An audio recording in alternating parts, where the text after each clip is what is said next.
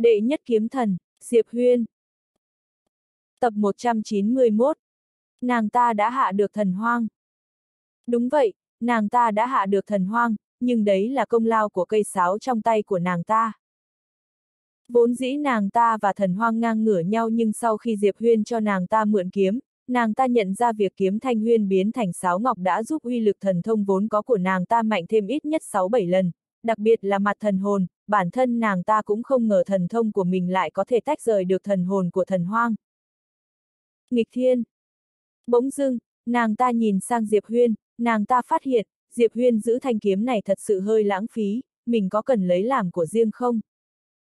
Nam sứ nghĩ đến đây thì gò má bỗng ửng đỏ lên, trong lòng thầm mắng bản thân, người ta có lòng tốt cho mình mượn kiếm, sao mình lại có suy nghĩ vô sỉ đến vậy chứ? Lúc này Diệp Huyên đi đến bên cạnh Nam Sứ, nói, Nam Sứ cô nương, sao cô không đánh ông ta nữa? Nam Sứ điều chỉnh lại cảm xúc, nàng ta nhìn về phía thần hoang ở phía xa, lúc này thần hồn và thân xác của thần hoang đã hoàn toàn rời khỏi nhau, có thể nói lúc này là lúc thần hoang yếu đuối nhất. Nam Sứ do dự một lát rồi nói, cao thủ giao đấu thường sẽ dừng lại đúng lúc. Diệp Huyên nghe xong thì mắt chữ O mồm chữ A. Dừng lại đúng lúc hả?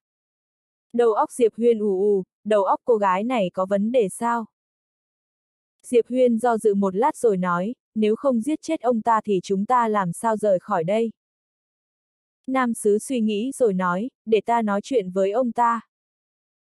Nàng ta nói xong thì nhìn sang thần hoang, nói thần hoang điện chủ, tiên bảo các của ta cũng không muốn quá tuyệt tình, bọn ta chỉ muốn rời khỏi, chỉ cần ngươi gật đầu, bây giờ bọn ta sẽ dừng lại, tốt cho cả đôi bên, ngươi thấy sao? Thần hoang nhìn sang nam sứ, vẻ mặt vô cùng hung dữ, nói, dừng lại đúng lúc ư. Nam sứ, hôm nay tiên bảo các của ngươi khinh thường yêu giáo của ta đến vậy, ngươi cho rằng chuyện này có thể dễ dàng bỏ qua vậy sao?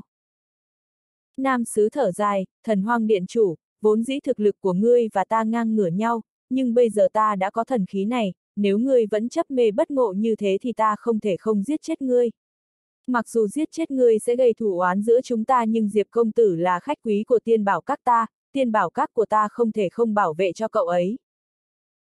Thần hoang nhìn nam sứ chằm chằm, vậy thì ngươi cứ giết chết ta đi. Nam sứ suy nghĩ rồi gật đầu, nói cho ngươi được toại nguyện vậy. Thật ra ta đã sớm có ý định với yêu đan của ngươi, chỉ có điều, mãi không tìm được lý do thích hợp thôi. Diệp Huyên liếc nhìn nam sứ, má, cô gái này có ý định với yêu đan của người ta, có ý định thì đánh chết ông ta đi. Nam sứ không nhiều lời thêm, nàng ta bước về trước một bước, xòe bàn tay ra, cây sáo trong tay đột nhiên biến thành một luồng sáng xanh, một âm phù tuyệt đẹp vụt qua. Phía xa, thần hoang đã bị phân tách thân xác và thần hồn chậm chậm nhắm mắt lại, ông ta xòe bàn tay ra, mặt đất phía xa bỗng rung lắc mạnh, tiếp ngay đó, một cây búa khổng lồ đột ngột bay vút lên trời, cuối cùng rơi vào tay ông ta. Búa yêu thần.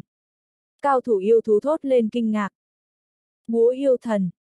Đấy là bảo bối bậc nhất của yêu giáo, từng là thần vật của yêu thần. Ánh mắt yêu thần thoáng vẻ hung dữ, yêu thần, giúp ta. ầm, um, búa yêu thần đó bỗng rung lắc mạnh, sau đó đột nhiên có một luồng sáng đỏ vụt ra, rồi chui vào trong cơ thể thần hoang. Đùng! khí tức thần hoang đột nhiên bức phá, không chỉ có vậy, thân xác và linh hồn đã phân tách cũng lập tức hợp lại làm một. Sức mạnh của yêu thần. Lúc này, nam sứ đột nhiên dừng lại, nàng ta lùi về bên cạnh Diệp Huyên, sau đó đưa cây sáo ngọc cho Diệp Huyên, nói, hay là ngươi tới đánh đi. Diệp Huyên. Ta đến đánh. Diệp Huyên đen mặt. Thực lực bây giờ của thần hoang này tăng ít nhất mấy lần so với trước đó, dưới tình huống này, với trạng thái hiện giờ của hắn thì căn bản không đánh lại. Lúc này, Nam Sứ khẽ nói, lực lượng yêu thần, một loại lực lượng vô cùng thần bí, người tín ngưỡng thành kính sẽ có thể nhận được chúc phúc của yêu thần, sau đó thu hoạch được lực lượng yêu thần, có lực lượng yêu thần giúp sức, chúng ta hoàn toàn không thể đánh lại. Diệp Huyên trầm giọng nói, vậy phải làm sao bây giờ? Nam Sứ nhìn Diệp Huyên, trốn. Diệp Huyên suy nghĩ rồi gật đầu, anh hùng cùng chung chí hướng. Nói xong, hắn muốn chuồn đi. Mà lúc này, huyền âm bên cạnh đột nhiên xuất hiện trước mặt Diệp Huyên, ông ta cung kính thi lễ, thiếu chủ, không cần trốn, cao thủ huyên giới ta sắp đến rồi. Cao thủ huyên giới. Diệp huyên hơi do dự, sau đó hỏi, mạnh cỡ nào? Huyền âm cười ngạo nghễ, đủ để quét ngang bất luận kẻ nào nơi này. Diệp Huyên im lặng một lát rồi nói, huyền âm trưởng lão, có phải ngươi khoác lác quá rồi không? Huyền âm cười âm hiểm, thiếu chủ yên tâm, chỉ cần cao thủ huyên giới ta đến, trong nháy mắt có thể diệt yêu giáo gì đó. Trong nháy mắt có thể diệt. Lúc này, thần hoang nơi xa đột nhiên cười lớn, hay cho một câu trong nháy mắt có thể diệt. Nói xong, búa yêu thần trong tay ông ta đột nhiên vung về phía huyền âm. Uỳnh! Búa vừa vung ra, tất cả mọi người nơi này đều cảm nhận được lực ép cực kỳ khủng khiếp khiến người ta ngạt thở. Sắc mặt huyền âm bằng nhiên thay đổi, ông ta vội vàng trốn ra sau lưng Diệp Huyên, sau đó nói, lực của cái búa này rất lớn, người phải cẩn thận đấy. Diệp Huyên im lặng, trong lòng như có ngàn vạn con ngựa đang lao nhanh. Tất nhiên hắn sẽ không gắng đỡ một búa này, hắn vội vàng đứng ra sau nam sứ. Nam sứ cô nương, uy lực của cái dìu này rất lớn, người phải cẩn thận đấy. Nam sứ đột nhiên vươn tay nhéo mặt Diệp Huyên, sau đó nghiêm túc nói, ra dày quá. Diệp Huyên. Nam sứ bước lên trước một bước, nàng ta mở lòng bàn tay, sáo ngọc trong tay chậm rãi bay ra, ngay sau đó, cây sáo ngọc kia hóa thành một tấm thuẫn màu xanh biếc, trên tấm thuẫn xanh là vô số gợn sóng, chập trùng dập dờn như sóng nước. Lúc này, búa kia bay đến. Quỳnh! Tấm thuẫn xanh rung động kịch liệt, sau đó dạn nứt, nhưng cũng không vỡ, cây sáo ngọc bên trong tấm thuẫn xanh thì càng không hề hư hại, trái lại, trên lưỡi rìa yêu thần của thần hoang còn xuất hiện vài vết nứt. Nhìn thấy cảnh này, trong mắt nam sứ lóe vẻ kinh ngạc, nàng ta nhìn về phía thần hoang, thần hoang điện chủ, bố yêu thần này của ngươi là hàng giả à? Sắc mặt thần hoang rất khó coi, ông ta không ngờ bố yêu thần của mình lại không thể phá kiếm kia. Đó rốt cuộc là kiếm gì? Nam sứ mở lòng bàn tay ra, kiếm thanh huyên xuất hiện trong tay nàng ta, nàng ta mỉm cười, đang định nói chuyện thì Diệp Huyên đột nhiên nói, Nam sứ cô nương, đánh nhau thì đừng phí lời, nhân lúc ông ta bệnh, mau lấy mạng ông ta. Nam sứ đến gần Diệp Huyên, lộ vẻ bình tĩnh nói, chúng ta đánh không lại bọn họ. Đây là địa bàn của yêu giáo, trên thần hoang này còn có một vị thần yêu, đối phương đang đứng trong bóng tối nhìn ra. Diệp Huyên nhíu mày, thần yêu, là giáo chủ của yêu giáo này sao? Nam sứ lắc đầu, không phải giáo chủ, là một yêu thú vô cùng bí ẩn, không lâu vừa rồi, nó đã đến nơi này. Diệp Huyên quét nhìn xung quanh, sau đó nói, vì sao ta không cảm nhận thấy? Nói xong, hắn nhìn về phía nam sứ. Nam sứ hơi do dự, sau đó nói, có ngại ta nói thật không? Diệp Huyên lập tức nói, không cần nói. Ta hiểu rồi. Nam sứ. Diệp Huyên nói trong lòng, tiểu tháp, người có thể cảm nhận được đối phương không? Tiểu tháp im lặng một lát, sau đó nói, có ngại ta nói thật không? Diệp Huyên.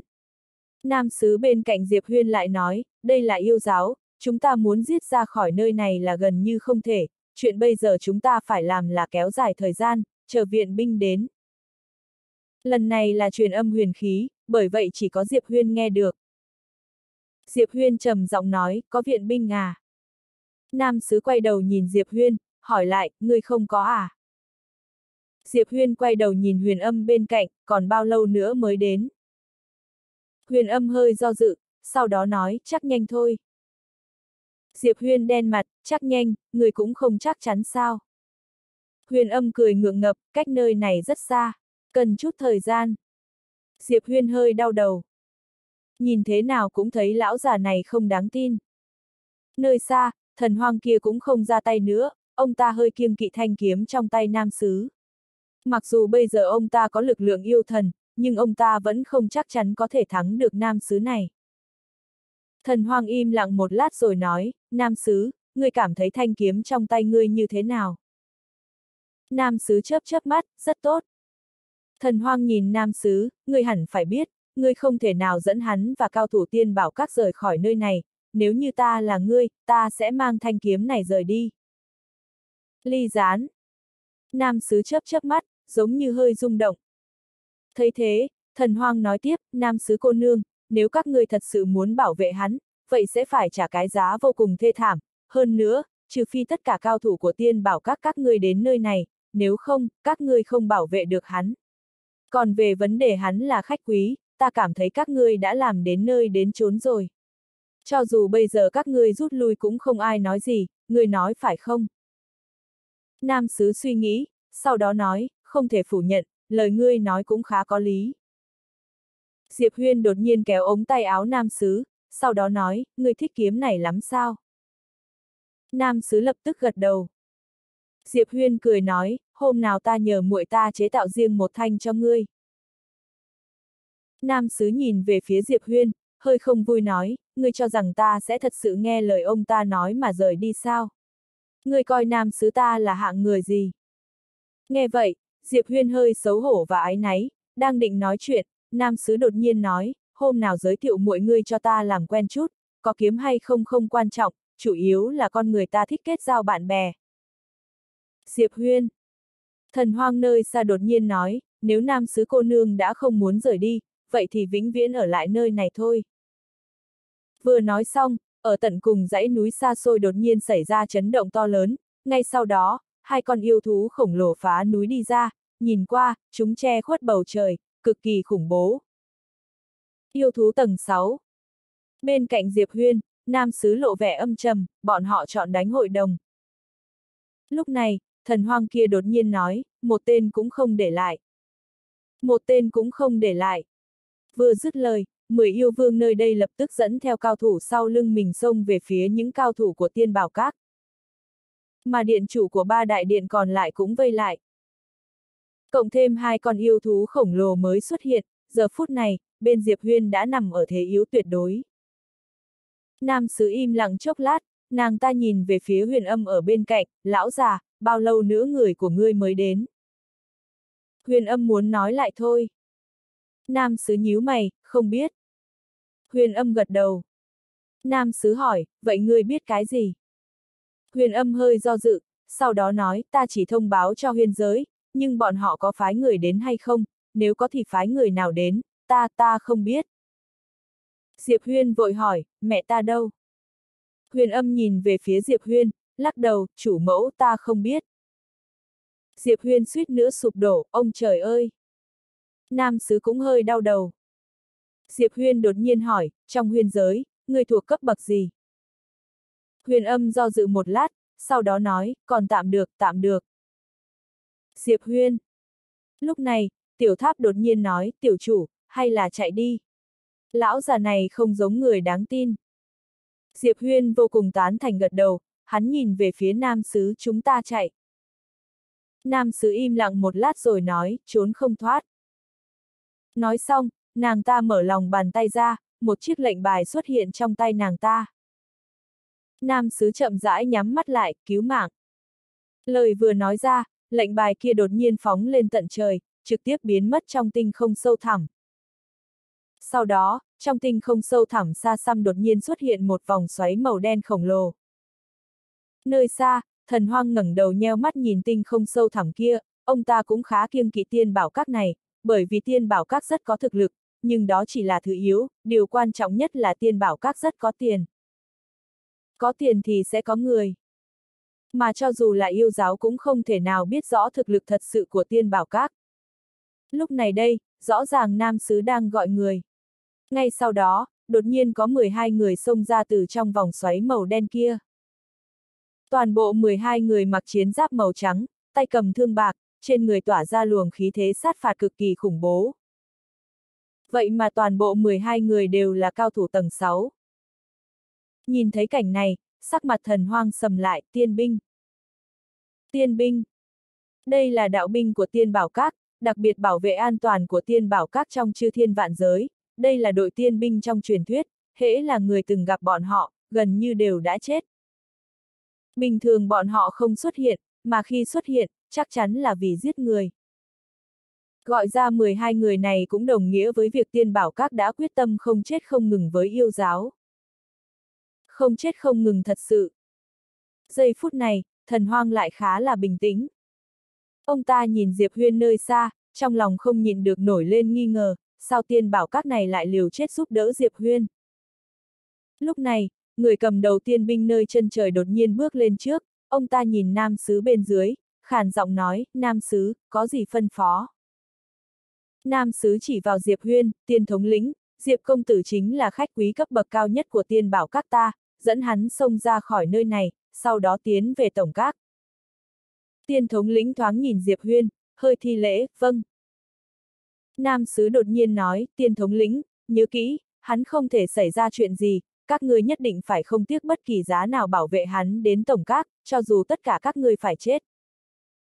Tiên thống lĩnh gật đầu, rõ.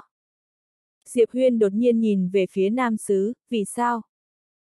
Nam Sứ nhìn về phía Diệp Huyên, mỉm cười, sau khi chúng ta lựa chọn ngươi đã chết rất nhiều người, nếu như bây giờ từ bỏ ngươi, chẳng phải những người đã chết trước đó là vô ích sao? Chẳng phải đắc tội với yêu giáo này là vô ích sao? Chúng ta đã không còn đường lui, chỉ có thể lựa chọn cược đến cùng. Diệp Huyên im lặng. Nam sứ đến gần Diệp Huyên, nàng ta nhìn Diệp Huyên, Diệp công tử, đợi lát nữa có lẽ ta sẽ chết trận ở nơi này, người có thể nói thật cho ta biết, ta sẽ thua cược sao? Nếu như thua cược, cho dù hôm nay ta không chết trận thì khi trở về cũng sẽ rất thảm, bởi vì ta đã sử dụng cực nhiều tài nguyên của tiên bảo các, không chỉ như vậy, ta còn đưa tiên bảo các vào vũng bùn chiến tranh. Nói xong, nàng ta dừng lại một chút rồi nói tiếp, ta tư lợi như vậy, người có thất vọng không? Diệp Huyên do dự một lát, sau đó gật đầu, một chút. Bởi vì ta cho rằng ngươi giúp ta như vậy là vì bị vẻ ngoài đẹp trai của ta hấp dẫn. Có loại suy nghĩ kia với ta. Nam sứ nghe vậy lập tức quay đầu, thần hoang điện chủ, ta cảm thấy có thể suy nghĩ lại đề nghị hòa giải mà ngươi vừa nói, nào, chúng ta bàn bạc. Diệp Huyên. Thần hoang nghe thấy câu đó của nam sứ thì vẻ mặt cũng trở nên hết sức dữ tợn, con mụ kia, lúc này rồi mà ngươi còn muốn kéo dài thời gian à. Giết! Giết! Vừa dứt lời, những cao thủ cũng quanh lập tức xông thẳng về phía mấy người Diệp Huyên. Về mặt số lượng thì bên yêu giáo đã hoàn toàn đè bẹp đám Diệp Huyên. Nam sứ bỗng nói, dẫn Diệp công tử đi. Chân trời, thống lĩnh thiên binh nhìn về phía Diệp Huyên, Diệp công tử, mời. Diệp Huyên im lặng một lát rồi dứt khoát hóa thành một luồng kiếm quang phóng lên cao. Đi! Hắn biết mình phải đi, không thì sẽ hại chết đám nam sứ vì mục tiêu chân chính của yêu giáo chính là mình. Hắn mà đi thì đám nam sứ lại càng an toàn. Audio điện tử võ tấn bền. Quả nhiên, Diệp Huyên vừa đi, thần hoang đã nói, không thể để cho hắn đi được. Ông ta vừa nói xong bỗng giơ tay lên trời rồi đè xuống, thoáng chốc thời không trên đầu Diệp Huyên đã nứt ra. Kế tiếp, một bàn tay che trời khổng lồ bỗng thò ra rồi chộp tới định bóp nát Diệp Huyên. Diệp Huyên đang định ra tay thì một thanh trường thương đã phá không bay tới. ầm, um. Bàn tay khổng lồ kia lập tức bị đâm nát. Diệp Huyên quay đầu nhìn về phía thống lĩnh thiên binh, hắn ta trầm giọng nói, Diệp công tử, đi đi. Đi. Diệp Huyên trần chờ một chút rồi phóng lên cao, phút chốc đã biến mất nơi cuối chân trời. Đằng sau hắn là vô số cao thủ yêu giáo. Đám thống lĩnh tiên binh trực tiếp theo Diệp Huyên xông ra ngoài, bọn họ che chở xung quanh hắn, không cho bất cứ cao thủ yêu giới nào đến gần. Diệp Huyên liếc những tiên binh kia mà thầm kinh ngạc, thực lực của họ quả thật có thể dùng khủng bố để hình dung. Tuyệt đối đều là những chiến binh dày dặn kinh nghiệm.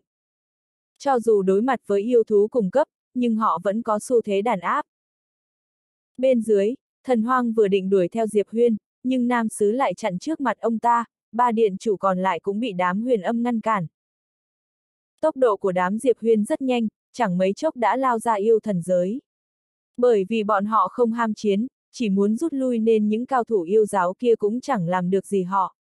Nhưng ngay khi họ sắp xông ra khỏi yêu thần giới thì lại bị một đám yêu thú thần bí chặn trước mặt. Chúng cả người đen tuyền, hình thù kỳ lạ, con nào con nấy đều có khí thế mạnh mẽ. Toàn bộ đều là tầng 6 và có khoảng hơn 20 con. Diệp Huyên thấy cảnh đó sắc mặt lập tức xa sầm, át chủ bài của yêu giáo này coi như đều ra hết. Lúc này, thống lĩnh thiên binh bên cạnh bỗng nói, Diệp công tử, họ là giáo yêu của yêu giáo và cũng là một đội quân thần bí do yêu giáo bí mật đào tạo ra, thực lực chưa rõ, ngươi phải cẩn thận nhé. Không biết thực lực. Diệp Huyên ngó thống lĩnh thiên binh hỏi, chưa đánh bao giờ à? Thống lĩnh tiên binh lắc đầu, chưa. Diệp Huyên đang định nói chuyện thì bấy giờ hai con yêu thú khổng lồ chui ra từ trong núi ban nãy cũng xuất hiện trong tinh không. Hai con yêu thú này thật sự rất lớn, mỗi một bước đi của nó cũng khiến cả Ngân Hà run lên. Thống lĩnh tiên binh cầm trường thương chỉ xéo xuống dưới, bỗng mở miệng hô, giết. Hắn ta vừa hô xong chợt nhảy lên đâm một thương đến trước mặt một con yêu thú. Trong mắt con yêu thú kia lóe lên vẻ dữ tợn, gầm lên một tiếng, cũng bật lên sông thẳng về phía thanh trường thương của thống lĩnh tiên binh. ầm, um. Một người một yêu vừa va vào nhau đã khiến cả ngân hà chấn động.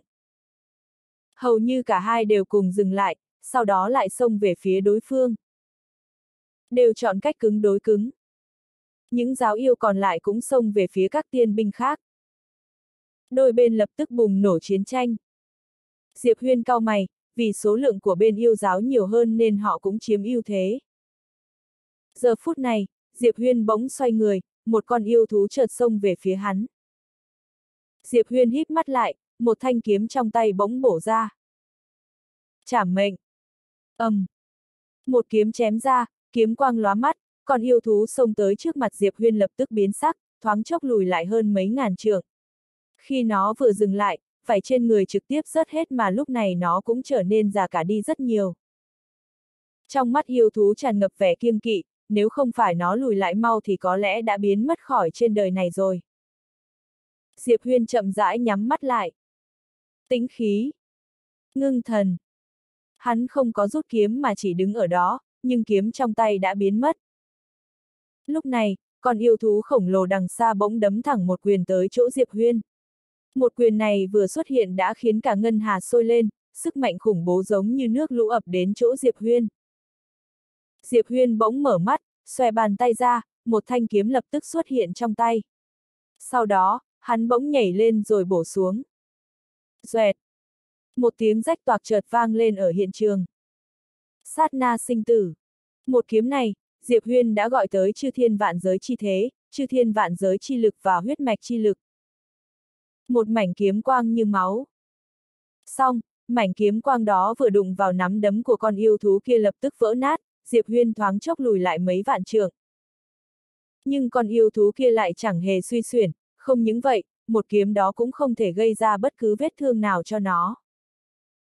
Diệp Huyên thấy vậy mặt mày trực tiếp xa sầm. Sức mạnh cơ thể của nó thật là khủng bố. Diệp Huyên như nghĩ tới cái gì, lau máu nơi khóe miệng đi hỏi, tiểu tháp, cơ thể nhị nha có mạnh bằng mấy con yêu thú kia không? Tiểu tháp im lặng một lát rồi nói, tiểu chủ, có phải người có hiểu lầm gì đó với thực lực của nhị nha rồi không? Diệp Huyên hơi khó hiểu, ý ngươi là gì? Tiểu tháp khẽ thở dài, tiểu chủ, nhị nha khác người. Nếu nói nàng vô địch dưới tam kiếm thì đó hoàn toàn là thật. Người cầm kiếm thanh huyên có thể phá hủy lớp phòng ngự của những yêu thú kia, nhưng nếu đối mặt với nhị nha, dù kiếm thanh huyên cũng không làm gì được nàng. Cơ thể của nàng rất mạnh, trên thế giới này, chỉ có tam kiếm có thể phá. Còn nữa, nhị nha từng đỡ được kiếm của thiên mệnh tỷ tỷ và cũng là người duy nhất còn sống dưới một kiếm của tỷ ấy. Diệp Huyên im lặng. Hắn đang nghĩ nếu mình mà đánh nhau với nhị nha thì sẽ đau khổ đến mức nào. Diệp Huyên lại hỏi, tiểu tháp, người có thể liên hệ với nhị nha không? Nếu liên lạc được thì có thể gọi đến đây chơi một chút. Tiểu tháp lạnh nhạt nói, người muốn khiến nàng đến giúp mình đánh nhau chứ gì. Diệp Huyên. Tiểu tháp lại nói, ta khuyên người là đừng để nàng đi theo mình, vì người không quản lý được nàng đâu. Không có ăn chủ mẫu và chủ nhân trông coi thì nàng có thể lật ngói. Hơn nữa, e rằng giờ nàng đang ở hệ ngân hà cũng không vui vẻ gì. Tuy thiên mệnh tỷ tỷ sẽ không giết nàng, nhưng chắc chắn không có việc gì thì cũng sẽ đánh nàng một chút. Diệp Huyên có hơi khó hiểu, giữa Thanh Nhi và Nhị Nha có thủ oán gì hả? Tiểu tháp đáp, không có. Diệp Huyên càng không hiểu, vậy tại sao Thanh Nhi lại đánh cô bé? Tiểu tháp nghẹn một chút rồi nói, Nhị Nha rất kiêu ngạo.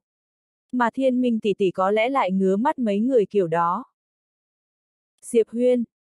Lúc này, con yêu thú khổng lồ kia lại đấm ra một quyền về phía Diệp Huyên. Nhưng ngay sau đó, nó giống như cảm nhận được gì, lập tức thu hồi lại rồi giơ tay đón đỡ. ầm, um, một mảnh kiếm quang chợt nổ tung trên cánh tay nó, yêu thú tức thì lùi lại cả mấy trăm trượng. Nhất kiếm chảm vị lai. Sau khi yêu thú dừng lại, trên cánh tay nó xuất hiện một vết kiếm sâu hóm. Nhưng vết kiếm ấy lại chẳng đáng là gì trên cánh tay khổng lồ kia. Đằng xa Diệp Huyên nhíu mày. Hắn phát hiện không có kiếm thanh huyên thì kiếm bình thường vẫn khó mà đánh nó bị thương được. Con yêu thú kia hầm hầm nhìn Diệp Huyên, gầm lên rồi xông tới đấm thẳng về phía Diệp Huyên. Trực tiếp dùng một đòn, không chút lòe loẹt, nhưng loại đó mới là khủng bố nhất. Chỉ đơn giản là sức mạnh cơ thể. Diệp Huyên thấy một quyền kia đấm tới lập tức nghiêm mặt, mà lúc này một con yêu thú khác cũng xông về phía hắn. Đánh từ hai phía. Trong mắt Diệp Huyên lóe lên vẻ tàn nhẫn, mở tay ra, một thanh kiếm chợt xuất hiện. Hắn không cũng không lùi lại, khi hai con yêu thú kia xông tới trước mặt mình thì chém mạnh xuống. Nhất kiếm chảm mệnh. Mà hai con yêu thú kia thấy một kiếm đó cũng không lùi lại. Một người hai yêu đều chọn cách liều mạng. Kiếm quang xuất hiện chỉ nhoáng lên rồi tắt, song thời gian lưu thệ chi lực lại lập tức quét ngang xung quanh. Vèo. ầm. Um. Diệp Huyên trực tiếp bay ngược ra sau rồi đâm nát mấy mảnh thời không thần bí. Khi hắn dừng lại thì cơ thể đã nứt toác, máu bắn tung tóe. Mà đằng xa, hai con yêu thú kia cũng không ngừng lùi lại. Chúng nó không thể miễn dịch được thời gian lưu thể chi lực của Diệp Huyên nên giờ cũng trở nên hết sức già nua. Xong, tuổi thọ lại vẫn chưa bị chém hết. Bởi vì tuổi thọ của chúng thật sự rất dài. Chỉ cần chúng có tuổi thọ đủ lâu thì với chúng trảm mệnh của ngươi sẽ không giết được ta. Đương nhiên, giờ chúng cũng không dám đỡ kiếm của Diệp Huyên tiếp vì tuổi thọ đã không còn thừa nhiều ít. Đằng xa, Diệp Huyên chậm rãi nhắm mắt lại, bắt đầu dùng nghịch thời gian chữa trị cơ thể. Chỉ cần không phải một quyền đánh chết luôn thì hắn vẫn có thể không ngừng chữa trị cơ thể của mình. Cơ thể hắn không mạnh mẽ như những con yêu thú tầng 6 ấy, nhưng khả năng chữa trị lại khủng bố hơn chúng nhiều. Hai con yêu thú kia thấy cơ thể Diệp Huyên khôi phục nhanh như vậy thì sắc mặt lập tức trở nên hết sức khó coi. Mẹ nó, nhân loại này bị gì thế? Khôi phục nhanh vậy luôn. Diệp Huyên liếc hai con yêu thú kia, nhíu mày hỏi, các ngươi khôi phục chậm vậy à? Hai con yêu thú. Diệp Huyên ngó những con yêu thú kia hỏi thầm, tiểu tháp, tiểu bạch có thể giải quyết đám yêu thú kia không? Tiểu tháp trầm giọng nói, người lo mà đánh đi, đừng có nói nhảm với ta nữa. Diệp Huyên. Lúc này, thời không đằng sau Diệp Huyên bỗng nứt ra. Sau đó, một khí thể cực kỳ khủng lập tức khuếch tán ra xung quanh. Diệp Huyên híp mắt, xoay phát người lại rồi chém thẳng xuống, một mảnh kiếm quang lóe lên ầm, um. Kiếm quang trực tiếp vỡ nát, Diệp Huyên lùi lại rồi rơi vào vực sâu thời không của một thời không thần bí. Khi hắn vừa dừng lại, một thanh trường đao đã phá không bổ tới.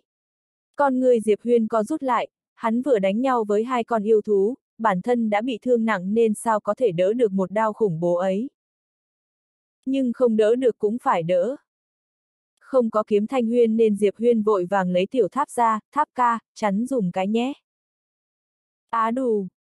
Tiểu tháp vừa định nói gì thì một đao kia đã bổ lên người nó. ầm, um. Một người một tháp lập tức bay ngược ra ngoài. Tháp nứt.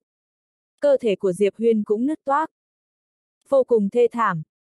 Sau khi Diệp Huyên dừng lại bèn nhìn về phía xa, cách đó không xa đứng một CGVD, tóc dài như thác, trong tay nắm một thanh trường đao có vỏ. Nhân loại. Diệp Huyên nhíu mày, trong yêu giáo còn có cao thủ nhân loại khủng bố vậy à?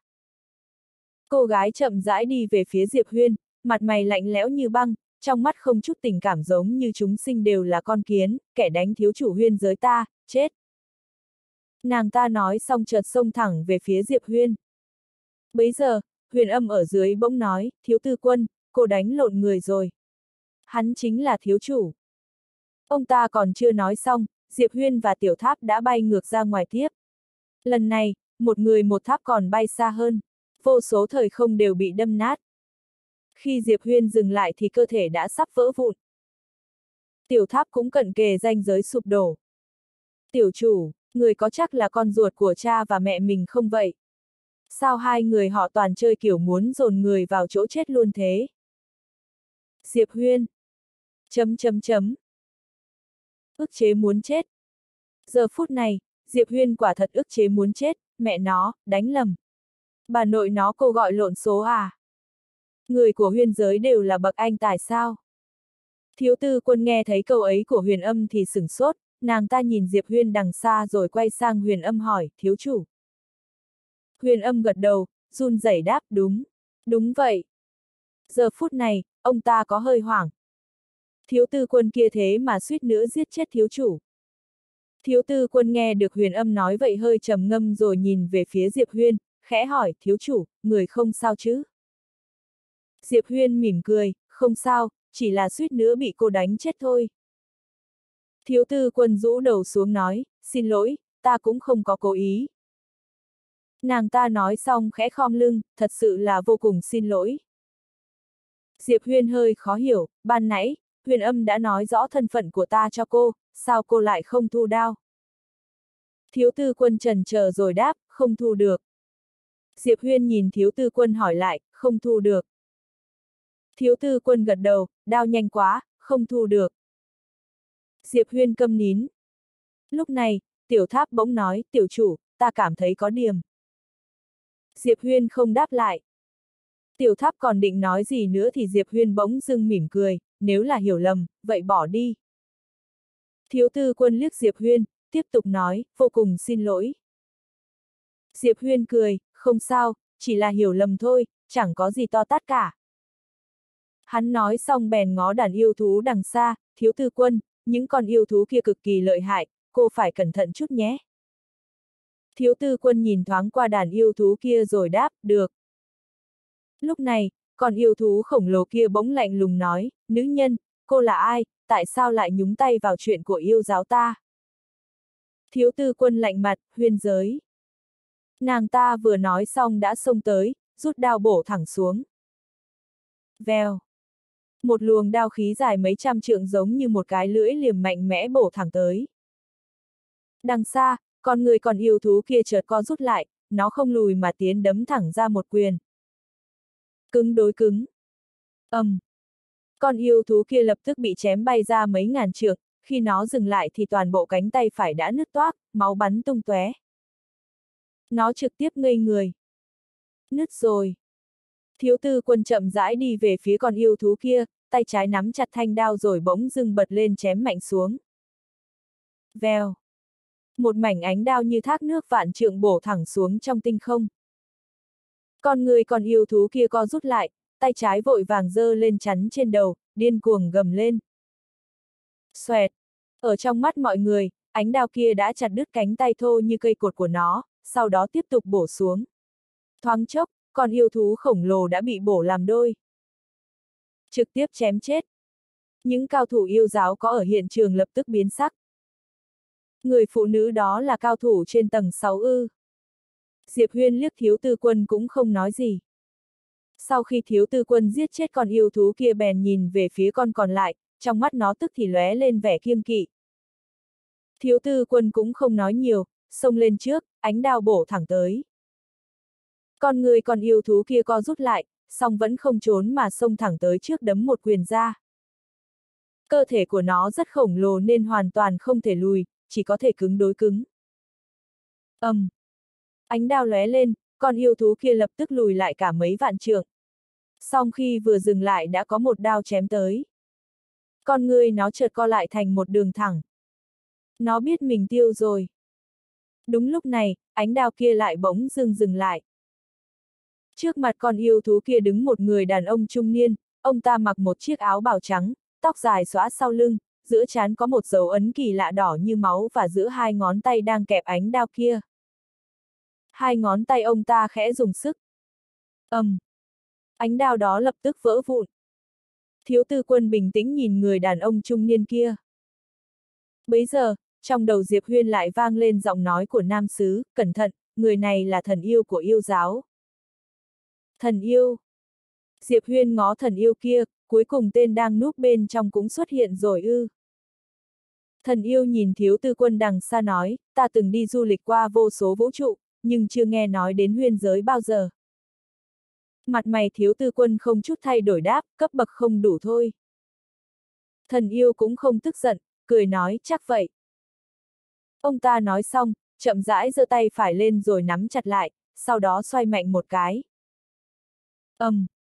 Thoáng chốc, mọi người trong sân đều biến sắc, họ chỉ cảm thấy đất trời tối sầm lại rồi một sức mạnh hủy thiên diệt địa chợt khuếch tán ra xung quanh.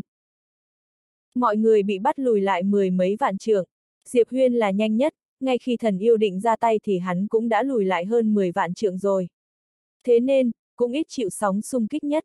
Đằng xa, sau khi thần yêu ra tay, sắc mặt của thiếu tư quân lập tức thay đổi nhưng cũng không lùi lại. Trong mắt nàng ta lóe lên vẻ tàn nhẫn, tàn ảnh quy tiêu, thiên địa câu diệt. Nàng ta vừa nói xong, cơ thể bỗng thành bốn cái bóng. Sau đó, bốn cái bóng lại đồng loạt rút đao bổ thẳng xuống. Bốn ánh đao màu đen giao nhau chém ngang qua tinh không, thiên địa câu diệt. ầm, um, đùng.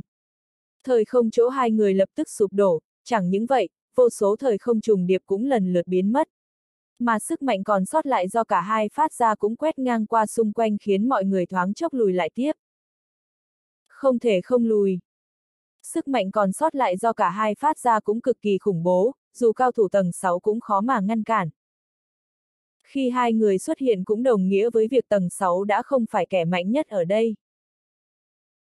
Khi mọi thứ trở nên bình tĩnh lại, mọi người mới thấy thần yêu và thiếu tư quân, khóe miệng thiếu tư quân không biết bao giờ đã chảy xuống một vệt máu tươi. Còn thần yêu vẫn lành lặn như cũ. Diệp Huyên thấy vậy thì cau mày. Thần yêu bỗng đi về phía thiếu tư quân, từ khi yêu giáo ta thành lập đến nay, tuy không dám nói vô địch trên đời, nhưng cũng không ai dám khinh. Ông ta vừa nói xong, chợt đấm ra một quyền. Một quyền trông rất nhẹ nhàng, không có bất cứ sức mạnh nào dao động, tinh không xung quanh cũng bình thường, thậm chí còn không có một cơn sóng gợn nào. Nhưng, thiếu tư quân đằng xa lại lập tức lùi lại hơn 10 vạn trượng. Khi nàng ta dừng lại, lấy mình là trung tâm, không gian xung quanh trực tiếp nát bấy. Không những là không gian mà tất cả thời không ở đó cũng lập tức sụp đổ, hóa thành một khu vực chết chóc. Thần yêu nhìn nam sứ bên dưới, nam sứ cô nương, tiên bảo các cô muốn đánh, yêu giáo ta sẽ theo đến cùng. Bắt đầu từ hôm nay, yêu giáo sẽ tuyên chiến với tiên bảo các, hễ yêu giáo ta gặp người của các cô chắc chắn sẽ giết cho đến khi mọi người trong tiên bảo các chết hết, hoặc yêu giáo ta chết hết. Đây thực sự là tuyên chiến. Không chết không ngừng. Nam sứ gật đầu, được thôi. Chuyện đã đến nước này, dù yêu giáo hay tiên bảo các thì đều đã không còn đường lui nữa. Như lời thần yêu, trừ khi một bên chết hết, không thì chuyện này sẽ không kết thúc. Lúc này, thần yêu mới bước tiếp về phía thiếu tư quân, ta không biết thiếu niên kia có lai lịch gì, cũng chẳng biết huyên giới cô mạnh thế nào. Nhưng, các cô đã muốn đánh thì yêu giáo ta theo đến cùng. Vừa dứt lời, ông ta chợt nắm chặt tay phải rồi đấm ra một quyền. Vèo. Đằng xa, trước mặt thiếu tư quân như có cái gì bỗng vỡ ra. Sau đó, một sức mạnh cực kỳ khủng bố giống như núi lửa phun trào ra. Thiếu tư quân chậm rãi nhắm mắt lại, tay phải siết chặt chuôi đao rồi rút ra bổ thẳng về phía trước kinh cụ. Nàng ta quát xong, trong vỏ đao chợt bắn ra một ánh đao. ầm, um. Ánh đao vừa xuất hiện đã lập tức biến mất, kế tiếp, thiếu tư quân đã lùi lại mấy vạn trường. Khi nàng ta dừng lại, thanh đao trong tay đã vỡ vụn thành vô số mảnh. Đao nát. Đám người huyền âm thấy cảnh đó thì sắc mặt lập tức trở nên khó coi. Huyền âm nhìn về phía thiếu tư quân khóe miệng đang không ngừng chảy máu, run rẩy hỏi, thiếu tư quân, chỉ có một mình cô đến thôi hả? Tả cảnh tư, hữu pháp thiên, huyền vị tẫn và nam vị ương đại nhân đâu? Thiếu tư quân lau vết máu nơi khóe miệng đi đáp, không biết. Không biết. Huyền âm nghe vậy suýt té xỉu. Không biết. Diệp Huyên bên cạnh lắc đầu. Điều này hoàn toàn khác với tưởng tượng của hắn, ban đầu Diệp Huyên nghĩ người của huyên giới vừa đến sẽ chém giết bốn phương, tiêu diệt yêu giáo, cuối cùng đồng loại hô một tiếng, thiếu chủ. Nghĩ lại thôi đã thấy sướng rồi. Nhưng sự thật là khác xa với tưởng tượng của hắn. Bấy giờ, thần yêu bỗng nhìn về phía Diệp Huyên. Diệp Huyên thấy vậy, tay phải chậm rãi siết chặt kiếm trong tay. Thần yêu thong thả bước đến chỗ Diệp Huyên, Diệp công tử, ta đã quan sát người một lúc lâu, người quả thật không đơn giản. Xong, chuyện đến nước này, hôm nay đầu của ngươi chắc chắn phải ở lại yêu giáo ta. Diệp Huyên cười hỏi, nếu ta không muốn thì sao? Thần yêu lắc đầu, đó cũng không phải do ngươi. Ông ta nói xong bỗng bước lên trước một bước rồi đấm ra một quyền. Một quyền này, mục tiêu chính là Diệp Huyên. Diệp Huyên thấy một quyền đó thì con người chợt co rút lại, vừa nghĩ, kiếm thanh huyên trong tay nam sứ lập tức bay đến trước mặt. Nó run lên rồi hóa thành một tấm khiên kiếm. ầm, um. Khiên kiếm bỗng run lên kịch liệt, sau đó cả Diệp Huyên và nó đều bay ngược ra ngoài hơn 10 vạn trượng. Trông như rất xa nhưng thực ra với những cao thủ vừa nghĩ đã có thể bay qua mấy tinh vực mà nói, hơn 10 vạn trượng thật sự rất rất gần. Với họ, đừng nói chút khoảng cách ấy, dù là cả tinh cầu thì trong mắt họ cũng có chút nhỏ bé. Diệp Huyên dừng lại, lau vệt máu nơi khóe miệng rồi ngẩng đầu nhìn thần yêu đằng xa, mở tay phải ra, kiếm thanh huyên bèn xuất hiện trong tay. Đúng lúc này, không gian trước mặt huyền âm bỗng run lên. Thoáng chốc, huyền âm lập tức biến sắc, ông ta quay phát đầu lại nhìn thiếu tư quân đằng xa, trong mắt tràn ngập sự hoảng sợ thiếu tư quân. Tại sao cô không báo chuyện chúng ta tìm được thiếu chủ lên? Thiếu tư quân híp mắt lại, tay trái chậm rãi siết chặt thanh đao. Huyền âm còn định nói gì tiếp, Diệp Huyên bên cạnh bèn quát, đều là chuyện nhỏ, chúng ta đối phó yêu giáo trước đã. Huyền âm liên tục lắc đầu, không không, thiếu chủ, chuyện này có vấn đề, thiếu tư quân nàng ta. Sau khi ta tìm được người đã báo cho nàng ta trước, nhưng ta vừa liên lạc với Nam Vị Ương Đại Nhân, nàng lại bảo hoàn toàn không biết chuyện này. Ta bảo mà, sao huyên giới chỉ có một mình thiếu tư quân đến. Diệp Huyên trầm giọng nói, đây là chuyện nhỏ, giờ kẻ địch của chúng ta là yêu giáo. Huyền âm lại lắc đầu, không không, thiếu chủ, chuyện này rất lạ, thiếu tư quân nàng ta. Diệp Huyên run rẩy nói, đại ca, chúng ta không nói đến chuyện này nữa, được không? Diệp Huyên run rẩy nói, thiếu chủ, thiếu tư quân rất có khả năng có ý đồ xấu, người phải cẩn thận đó. Ông ta vừa nói xong, Diệp Huyên đã cảm thấy sau lưng chợt lạnh vì bị một luồng đao khí nhằm vào. Diệp Huyên suýt nữa phun ra một ngụm máu, hắn thật sự muốn một kiếm chém chết huyền âm cho rồi. Mẹ nó! Ngươi làm thế chẳng phải là đang ép người phụ nữ kia tạo phản sao? Giờ phút này, Diệp Huyên thật sự là vô cùng cạn lời. Thực ra, ban đầu hắn đã biết thiếu tư quân kia có vấn đề. Nhận sai người. Sao có thể nhận sai? Mẹ nó, hắn cũng không phải yêu thú. Hơn nữa, còn là kiếm tu nên thân phận cũng đã rất rõ ràng rồi. Sao có thể nhận sai người được? Và lại, sau khi được huyền âm nhắc nhở, đối phương vẫn giơ đao chém xuống. Đao nhanh. Không thu được. Sao có thể chứ? Cao thủ có cấp bậc như này sao có thể không thu phóng tự nhiên? Phải biết rằng, ngay cả hắn còn làm được. Chỉ cần Diệp Huyên muốn thì dù kiếm có nhanh cỡ nào cũng có thể muốn ngừng là ngừng. Mà người phụ nữ này lại bảo không dừng được, đây chẳng phải là đang bậy bạ sao? Đây nhất định là đang nói bừa. Nhưng Diệp Huyên không thể không phối hợp với nàng ta. Bởi vì hắn nhận ra tuy người phụ nữ kia muốn giết mình, nhưng không dám trực tiếp giết. Thế nên, hắn đã cho đối phương một cái bậc thang để nàng ta nghĩ rằng mình là một thằng ngu, không biết gì hết. Song thực tế, hắn cũng đã thành công. Thiếu tư quân kia đã không ra tay tiếp, chẳng những vậy, còn đối phó yêu giáo với hắn. Thế nhưng, mọi thứ đều bị huyền âm kia phá hủy. Huyền âm đã đâm thủng lớp giấy cửa sổ ấy, khiến thiếu tư quân không thể không làm phản. Sau đó, tình huống hiện nay của Diệp Huyên lại càng tệ hơn. Bởi vì ở hiện trường, chỉ có thiếu tư quân có thể miễn cưỡng ngăn được tên thần yêu kia. Nhưng giờ, nàng ta đã trực tiếp làm phản. Điều này chẳng phải là coi như xong đời rồi sao? Diệp Huyên thật sự muốn giết quách huyền âm luôn cho rồi. Lúc này, huyền âm lại run rẩy nói, thiếu chủ, thiếu tư quân kia làm phản thật rồi. Người phải cẩn thận nhé. Diệp Huyên. Thiếu tư quân bỗng dưng phản bối khiến mọi người trong sân sửng sốt. Đây là vụ gì vậy?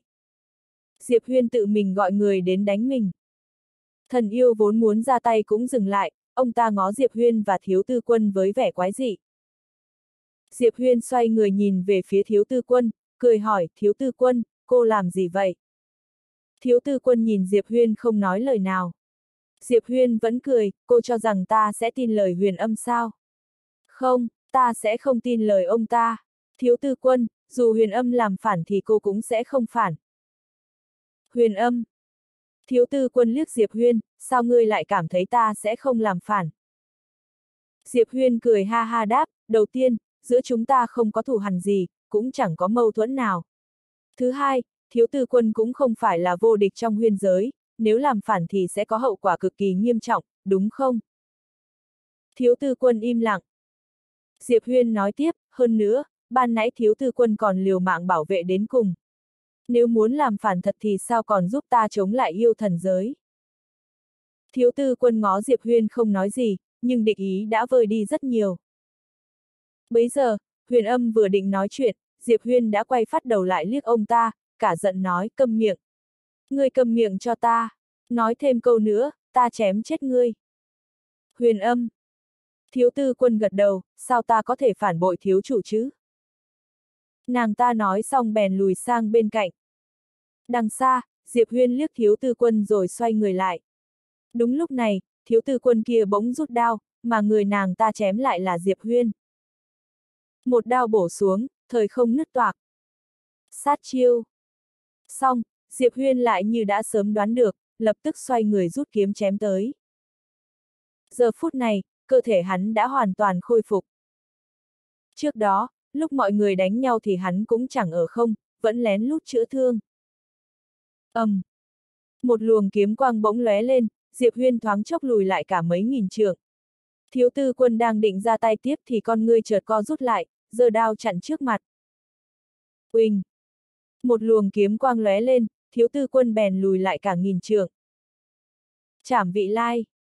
Có điều, nàng ta đã có sự chuẩn bị. Thiếu tư quân nhìn Diệp Huyên đằng xa, trong mắt tràn ngập vẻ lạnh lẽo. Diệp Huyên cười, thiếu tư quân, cô làm vậy là ý gì đây? Thiếu tư quân bình tĩnh nói, thiếu chủ, ta đã quá xem nhẹ chỉ số thông minh của ngươi. Nếu không đoán sai thì ngươi đã biết hết từ đầu, nhưng lại giấu. Diệp Huyên im lặng một lát rồi hỏi, thiếu tư quân, tôi có hơi khó hiểu, ta và cô không thù không oán, sao cô phải làm vậy? Thiếu tư quân nhàn nhạt nói, hay là thiếu chủ đoán thử xem. Diệp Huyên cười, sự xuất hiện của ta sẽ ảnh hưởng đến ích lợi của cô hay người sau lưng cô đúng không? Thiếu tư quân híp mắt lại không đáp. Diệp Huyên lắc đầu cười, thiếu tư quân, các cô làm vậy, không sợ mẹ ta à? Thiếu tư quân nhìn Diệp Huyên đáp, sợ. Diệp Huyên cười, xem ra, cô vì người sau lưng mình mới làm vậy, vì biết mình mà giết ta thì chắc chắn phải chết. Khóe miệng thiếu tư quân nhếch lên một nụ cười dữ tợn, người có tài đức gì mà có thể làm thiếu chủ huyên giới. Diệp Huyên nhíu mày, cô có biết mong muốn ban đầu của mẹ ta khi sáng lập nên huyên giới không? Thiếu tư quân nhìn chằm chằm Diệp Huyên nói, không biết. Diệp Huyên lắc đầu, điều này cũng không biết mà cô còn dám tạo phản. Khóe miệng thiếu tư quân lộ ra đôi chút châm chọc sao? Ngươi cho rằng giới chủ vì ngươi mới sáng lập nên huyên giới à? Ra mặt ngươi phải dày bao nhiêu mới dám nghĩ vậy thế? Diệp Huyên im lặng, thiếu tư quân lại nói, ta nói cho ngươi biết, giới chủ mới không có hạn hẹp như vậy đâu. Ngươi đừng có mà tự mình đa tình. Diệp Huyên có hơi đau đầu, cãi lại. Nếu cãi thì chắc chắn người phụ nữ kia sẽ nói mình ra mặt dày, còn nếu nói mẹ vì mình mới sáng tạo ra huyên giới. Lại sẽ bị nghi là làm màu. Không cãi lại. Người phụ nữ kia lại có vẻ kiêu ngạo quá. Diệp Huyên khẽ thở dài, thiếu tư quân cô nương, chúng ta không bàn về vấn đề này nữa, có thể thấy cô rất kính trọng mẹ ta. Nếu thế, ta xin nói thêm mấy câu. Cô nương, bây giờ cô quay đầu lại còn kịp, đừng càng đi càng xa trên con đường tự đâm đầu vào cái chết nữa. Ta nói cho cô biết, có người từng khăng khăng một mực không ngừng tìm đường chết, cuối cùng thành công khiến mình chết mất xác. Người nó tên là Thiên Diệp. Thiên Diệp. Bấy giờ, tiểu tháp bỗng nặng nề nói, tiểu chủ, cừ ghê. Thật sự cừ luôn, tha cho người ta đi. Người đã lôi người ra quất xác mấy trăm lần rồi. Cứ cách một thời gian lại lôi ra quất, như vậy thì hơi quá đáng đó nhưng phải làm cho người ta sáng mắt ra. Diệp Huyên. Đằng xa, vẻ mặt thiếu tư quân chợt trở nên dữ tợn, ta thì ngứa mắt loại người như người đó, chẳng có bản lĩnh nào, cái gì cũng dựa vào người trong nhà. Thế nên, ta hỏi ngươi, người có tư cách gì làm thiếu chủ huyên giới? Diệp Huyên ngẫm nghĩ rồi đáp, mẹ ta là giới chủ, bà ấy lại chỉ có một đứa con trai là ta nên ta là thiếu chủ huyên giới thì có gì sai sao? Thiếu tư quân cả giận nói, chơ cháo, mặt dày. Diệp Huyên giang hai tay hơi bất lực nói, tuy ta cũng thấy không được tốt lắm, nhưng lại có cách gì đâu.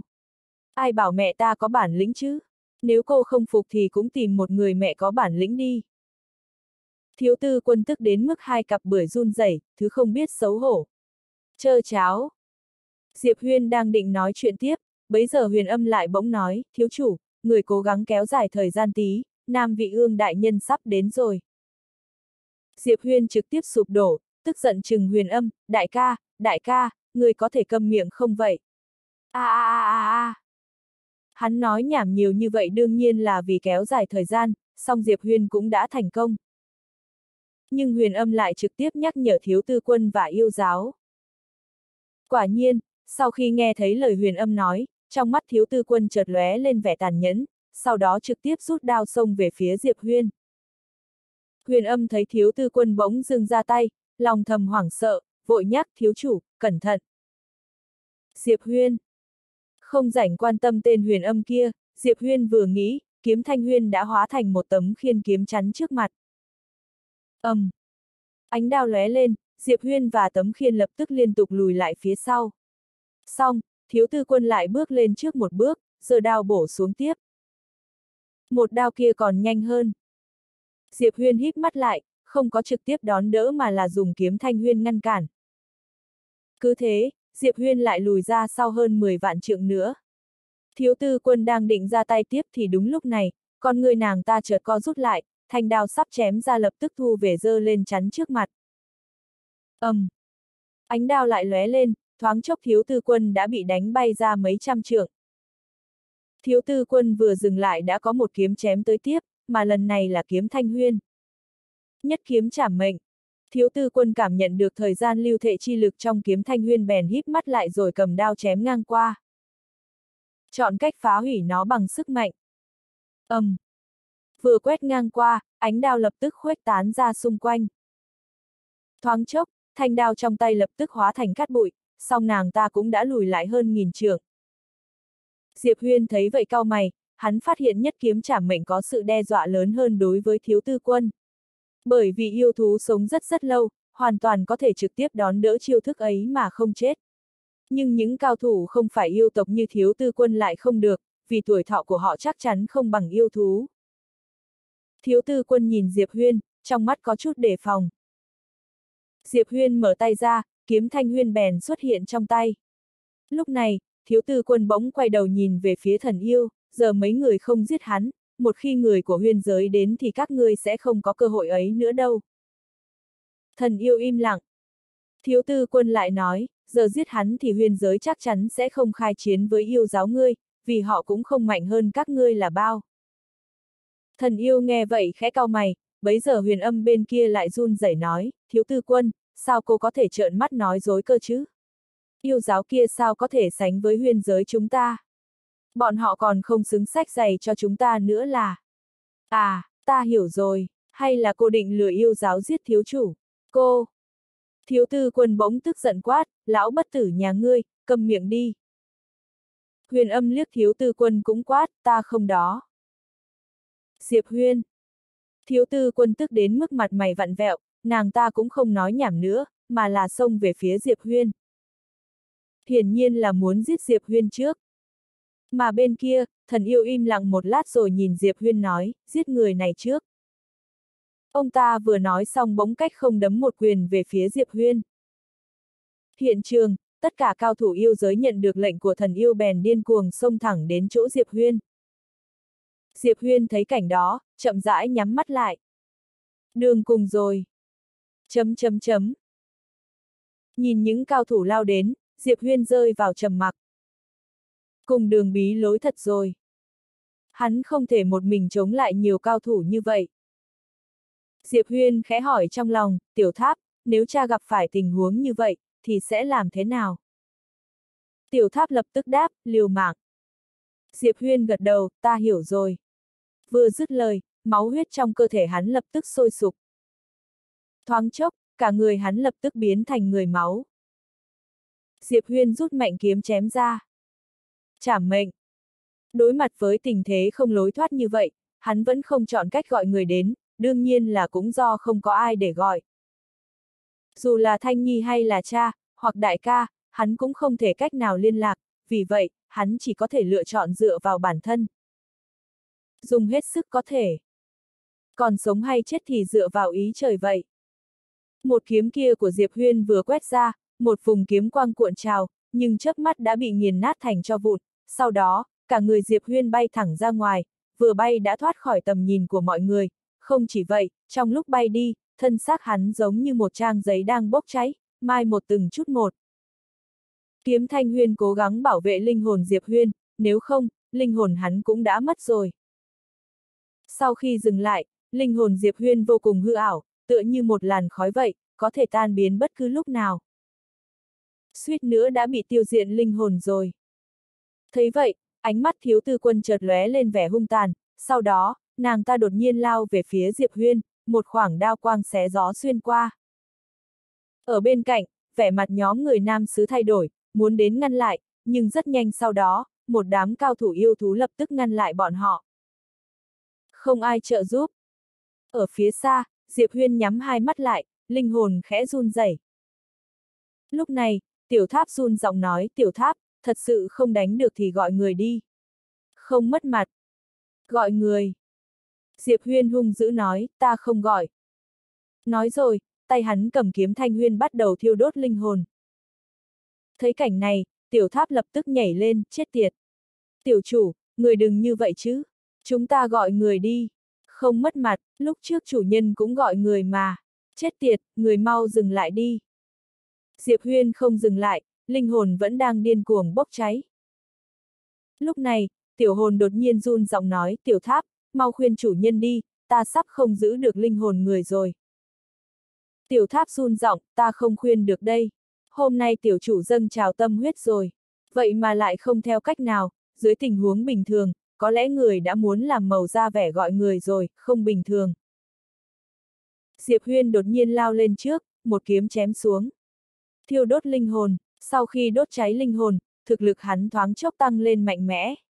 ầm, um, một vùng kiếm quang nổ tung, sau đó thiếu tư quân kia lập tức bị một kiếm này của Diệp Huyên chém ra ngoài cả nghìn trượng, nàng ta vừa mới dừng lại thì thanh trường đao trong tay nàng ta lập tức vỡ vụn. Thấy vậy, sắc mặt thiếu tư quân đột nhiên trở nên khó coi. Lúc này, thần hoang ở bên cạnh đang muốn ra tay thì thần yêu ở cạnh đột nhiên nói, hắn đang thiêu đốt linh hồn, nhiều nhất là nửa khắc, hắn sẽ tan thành mây khói thôi. Nghe vậy, thần hoang do dự chốc lát sau đó dừng lại. Như lời thần yêu nói, Diệp Huyên lúc này chính là đang tự mình diệt vong. Mà ngay lúc này, Diệp Huyên ở phía xa đột nhiên không đốt cháy linh hồn nữa. Thấy vậy, vẻ mặt thần hoang cứng đờ. Mẹ nó! Cái trò đốt cháy linh hồn này còn có thể nói dừng là dừng sao? Yêu thú nhíu chặt mày, tay phải khẽ siết chặt, Diệp Huyên bỗng nói, đợi đã. Đợi đã. Mọi người đều nhìn Diệp Huyên, vẻ mặt kỳ lạ. Diệp Huyên nhìn thiếu tư quân đang định ra tay, thiếu tư quân cô nương, hôm nay ta. Thiếu tư quân bỗng gần giọng nói, tiểu tặc, ngươi chớ có kéo dài thời gian, ta sẽ không mắc bẫy ngươi. Nói rồi, nàng ta đột nhiên phóng lên trời, hai tay chắp lại hình chữ thập, sau đó đánh mạnh xuống. Bù! Một luồng đao khí dài cả mấy nghìn trượng từ chân trời phóng xuống, xé nát mọi thứ. Vẻ mặt Diệp Huyên cứng đờ. Mẹ nó! Ngươi để ông đây nói cho xong đã chứ? Ông đây còn muốn chơi chiêu chút nữa. Không kịp nghĩ nhiều, bởi vì một đao kia của thiếu tư quân đã gần chém đến trước mặt hắn rồi. Diệp Huyên mở lòng bàn tay, kiếm thanh huyên trong tay đột nhiên bay ra chém. ầm, um. Một vùng kiếm quang vỡ vụn, Diệp Huyên cả người cả kiếm lập tức bay ra cả vạn trượng bên ngoài, hắn vừa dừng lại, kiếm thanh huyên lập tức biến thành một luồng kiếm quang đi vào giữa chán hắn. ầm, um. Linh hồn vốn dĩ sắp tiêu tan lập tức được chấn giữ, nhưng cũng vô cùng hư ảo. Tiểu tháp run giọng nói, chủ nhân, người không thể ra kiếm, nếu ra kiếm nữa, linh hồn của người sẽ hoàn toàn biến mất. Tiểu tháp cũng nói, tiểu chủ, không thể ra tay nữa. Gọi, gọi người đi. Diệp Huyên nhẹ giọng nói, tiểu tháp, chúng ta có thể gọi ai? Nghe vậy, tiểu tháp lại im lặng, mẹ nó, gọi ai, vừa nghĩ, hình như không có ai có thể gọi được cả. Tiểu tháp đột nhiên có chút bi thương nói, tiểu chủ, người thật thảm thương. Diệp Huyên. Ở phía xa, thiếu tư quân kia đột nhiên phóng thẳng người, lại chém một đao về phía Diệp Huyên. Thiếu tư quân nhìn chằm chằm Diệp Huyên gần đó, nàng ta biết, một đao này của mình chém xuống, Diệp Huyên rơi vào tình trạng thế suy sức yếu chắc chắn sẽ chết. Đương nhiên, cũng có nghĩa bản thân nàng ta cũng phải chết. Giết thiếu chủ, huyên giới nhất định sẽ giết nàng ta. Đối mặt với huyên giới, nàng ta chắc chắn không thể toàn mạng. Nhưng vậy thì sao? Đột nhiên thiếu tư quân khẽ cười. Nàng ta không oán hờn. Càng không hối hận. Một đao này vừa xuống, mọi thứ đầu kết thúc rồi. Thiếu tư quân khẽ nói, bảo trọng. Câu này, không biết là nói với ai. Ở bên dưới, Diệp Huyên nhìn một đao kia chém xuống, ánh mắt hắn có chút mờ mịt. Hắn biết, một đao này chém xuống, con đường của hắn cũng đến điểm tận rồi. Có phần không cam. Nhưng cũng không còn cách nào, nhiều khi, không phải nói người gắng hết sức thì nhất định sẽ có kết quả. Kết thúc rồi. Diệp Huyên mở lòng bàn tay, linh hồn hoàn toàn bốc cháy. Lúc này, ngay cả kiếm thanh huyên cũng không chấn áp được. Một kiếm này hắn chém ra, linh hồn của hắn hoàn toàn tan biến. Diệp Huyên lại bật cười. Hắn ngẩng đầu nhìn một đao rơi xuống, đây chính là mùi vị cái chết sao. Hắn đã rất rất lâu rồi chưa từng cách cái chết gần đến vậy. Ngay khoảnh khắc Diệp Huyên chém kiếm ra, một tay ấn trên vai hắn, sau đó, một luồng sức mạnh vô cùng kinh khủng thần bí lập tức lao vào trong linh hồn hắn, linh hồn vốn đang bốc cháy thoáng chốc đã trở nên tĩnh lặng. Đồng thời, một đao trên đầu Diệp Huyên lập tức tan thành mây khói, còn thiếu tư quân kia chớp mắt đã bị đẩy lùi ra xa mấy vạn trượng, vừa dưng lại, thân xác lập tức vỡ vụn, chỉ còn lại linh hồn. Thiếu tư quân nhìn người sau lưng Diệp Huyên ở phía xa, ánh mắt đầy kinh sợ, linh hồn run rẩy. Còn thần yêu ở bên cạnh thì sắc mặt thoáng chốc đã trở nên vô cùng nặng nề.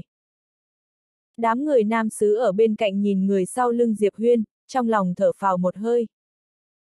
Cao thủ của huyên giới, cuối cùng cũng đến rồi. Diệp Huyên quay người, khi nhìn thấy người trước mắt, hắn lập tức ngây người tại chỗ. Người đến, chính là Đông Lý Nam. Cũng chính là mẫu thân của hắn. Ở một chỗ sau lưng Đông Lý Nam, có một cô gái đứng đó, cô gái mặc trường bào màu trắng đơn giản, tóc dài buông xóa, dung nhan tuyệt thế, trong tay nàng ta đang cầm một chiếc quạt trắng ngọc, thoáng nhìn, tư thế oai hùng hiên ngang, anh khí đầy mình. Ánh mắt cô gái vẫn luôn nhìn Diệp Huyên, vẻ mặt bình tĩnh. Sau lưng cô gái còn có ba nam một nữ. Bốn người này, chính là tứ đại thần giả của huyên giới, lần lượt là tả cảnh tư, hữu pháp thiên, huyền vị tẫn, nam vị ương. Mà sau lưng bốn người này, 16 cao thủ thần bí mặc giáp đen đang đứng, 16 người đều đeo đao ở hông, lưng vác trường cung, khí thế cuồn cuộn như sao trời, hoàn toàn không thể nhìn thấu. Khi nhìn thấy 16 người này, thân thể huyền âm ở phía xa không kiềm được cũng run rẩy. Đồ thần giả.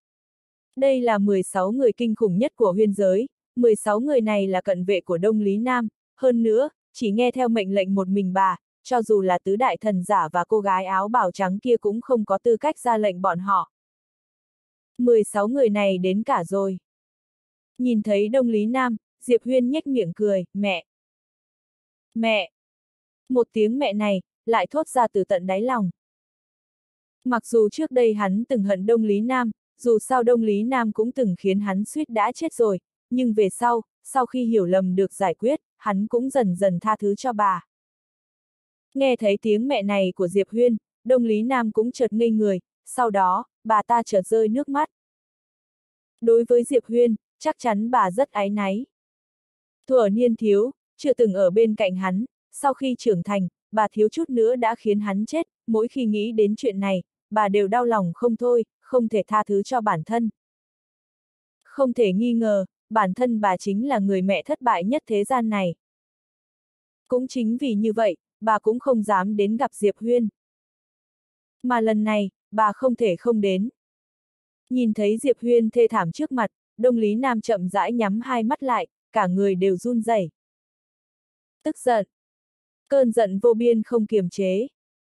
Thấy vậy, cô gái áo bào trắng bên cạnh bà trầm ngâm một lúc, sau đó quay đầu nhìn tứ đại thần giả kia, phàm là yêu thú ở giới này, đều giết không tha.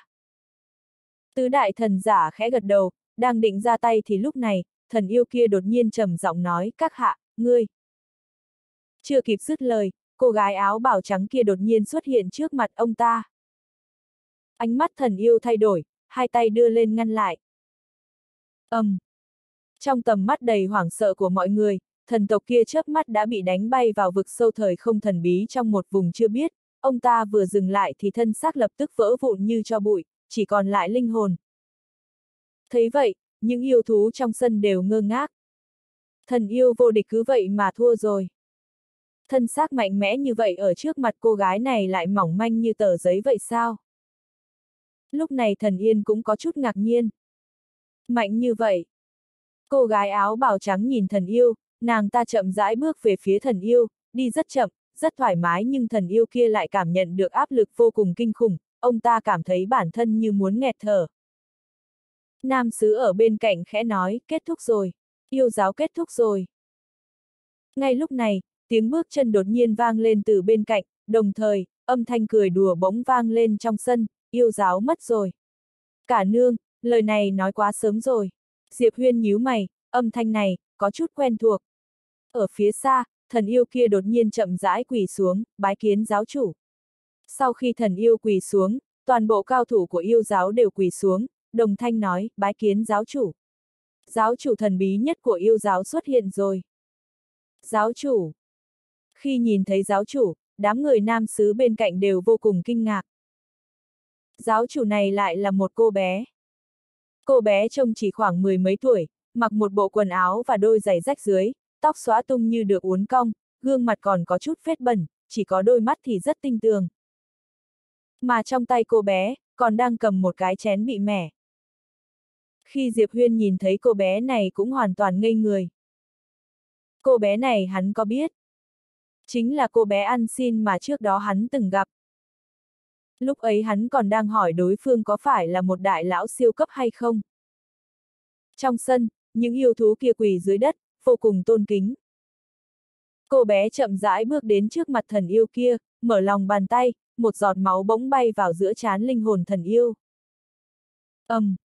Chớp mắt, thân xác thần yêu kia lập tức khôi phục, không chỉ vậy, trên người ông ta còn có thể một vài lớp vảy cứng cáp. Cô bé quay đầu nhìn cô gái áo bào trắng kia, khẽ nhếch miệng cười, sau đó, một miếng tinh thạch trong chén nàng ta đột nhiên bay ra. Ở phía xa, cô gái áo bào trắng kia nhíu mày, tay phải nàng ta vươn ra, sau đó nhẹ nhàng xoay tròn, thoáng chốc, một mặt tấm khiên thủy tinh sắc xanh thần bí khổng lồ ngăn lại trước người nàng ta, thế nhưng, tấm khiên này vừa chạm với tinh thạch thì lập tức nổ tung. ầm, um. Cô gái áo bào trắng cả người lập tức bay ra xa, nhưng nàng ta bay đi rất nho nhã, giống như hạc trắng cất cánh, rất đẹp, thế nhưng, khi nàng ta vừa đáp đất thì thân xác nàng ta lập tức vỡ vụn. Thấy vậy, sắc mặt tứ thần giả cũng trở nên vô cùng nặng nề. Bốn người chưa từng ngờ đến, nơi như thế này còn có cao thủ mạnh như vậy. Cô gái áo bào trắng chỉ còn lại linh hồn liếc mắt nhìn cô bé, ngươi là yêu gì? Cô bé cười nói, ngươi đoán. Cô gái áo bào trắng nheo mắt, không nói gì. Cô gái nhìn trực tiếp bỏ qua cô gái áo bào trắng, nàng ta nhìn Đông Lý Nam, không phải bản thể. Không phải bản thể. Nghe vậy, mọi người trong sân đều ngây người. Ngay cả tứ thần giả và cô gái áo bào trắng, lúc này ánh mắt năm người họ cũng hiện lên vẻ vô cùng khó tin, bọn họ không ngờ, Đông Lý Nam trước mặt lại không phải là bản thể. Diệp Huyên nhìn Đông Lý Nam, cũng có chút kinh ngạc mẹ. Đông Lý Nam khẽ cười, lúc trước phụ thân con đến tìm ta, ta vốn không muốn đi, nhưng hắn cố ý muốn đưa ta đi, vì vậy. Nghe vậy, Diệp Huyên đã hiểu rồi. Đông Lý Nam nhìn cô bé bên cạnh, huyết mạch ngươi không đơn giản. Lúc này, tiểu tháp bỗng nói, chủ mẫu, trong thân thể nàng ta có huyết mạch của nhị nha. Nhị nha. Nghe vậy, Đông Lý Nam nhíu chặt mày. Cô bé bỗng nhìn xuống bụng Diệp Huyên, người biết nàng ta. Tiểu tháp rời khỏi thân thể Diệp Huyên, nó tức giận nói, người có huyết mạch nhị nha. Cô bé nhìn tiểu tháp, tại sao người biết nàng ta? Tiểu tháp tức giận không thôi, ta và nàng ta là bạn bè thân nhất, sao lại không biết nàng ta chứ? Người có huyết mạch của nhị nha, rất rõ ràng, người từng được nhị nha giúp đỡ, nếu đã như vậy, tại sao ngươi lại dám làm tiểu chủ bị thương? Chẳng lẽ ngươi không biết, nhị nha và tiểu chủ là người một nhà sao? Cô bé khẽ nhíu mày, người một nhà. Tiểu tháp tức giận nói, phí lời. Ta và nhị nha là lớn lên cùng nhau. Mà chủ nhân xem nhị nha là muội muội, chúng ta đương nhiên là người một nhà. Chẳng lẽ ngươi không phát hiện ra sao? Trên người tiểu chủ cũng có huyết mạch của nhị nha. Cô bé liếc nhìn Diệp Huyên, đúng là có. Tiểu tháp nổi giận, người đã biết có, vậy sao còn muốn giết người? Cô bé nhíu mày, ta ra tay với hắn sao? Con mắt nào của ngươi nhìn thấy ta ra tay với hắn? Tiểu tháp nói, thuộc hạ của ngươi muốn giết người. Vẻ mặt cô bé bình tĩnh, đó là chuyện của thuộc hạ ta, liên quan gì đến ta? Tiểu tháp. Tiểu tháp còn muốn nói gì đó, thì Đông Lý Nam ở bên cạnh lại lắc đầu, không cần nói rông dài với nàng ta, hôm nay, chắc chắn ta sẽ tiêu diệt yêu giáo. Cho dù nhị nha ở đây, ta cũng sẽ không nể mặt. Tiểu tháp im lặng. Mặc dù nhị nha vô pháp vô thiên, nhưng thật sự cũng không dám bất kính với mấy vị chủ mẫu, mặc dù Đông Lý Nam không có địa vị siêu nhiên như Tô Thanh Thi, nhưng đó cũng là một trong những chủ mẫu, nhị nha không dám gây hấn, hơn nữa, nhị nha ở đây, chắc chắn sẽ đứng về phía Diệp Huyên. Không ai bao che hơn nhị nha cả. Cái khác không nói, chứ quan hệ giữa Diệp Huyên và nhị nha với cả tiểu bạch cực kỳ tốt, nhất là Diệp Huyên còn thường mang theo mấy trăm vạn xiên kẹo hồ lô bên người. Lúc này, cô bé kia bỗng nói, nữ nhân, thứ cho ta nói thẳng, bản thể ngươi ở đây, có lẽ ta còn e ngại ngươi ba phần, còn chỉ một phân thân ngươi. Nói rồi, nàng ta khẽ nhếch miệng, sợ là không đủ để ta đánh nữa. Ngông! Đương nhiên, nàng ta có tư cách ngông cuồng. Đông Lý Nam nhìn cô bé, ngẫm lại thì chắc chắn ngươi chưa từng nếm trải đòn nham hiểm từ xã hội.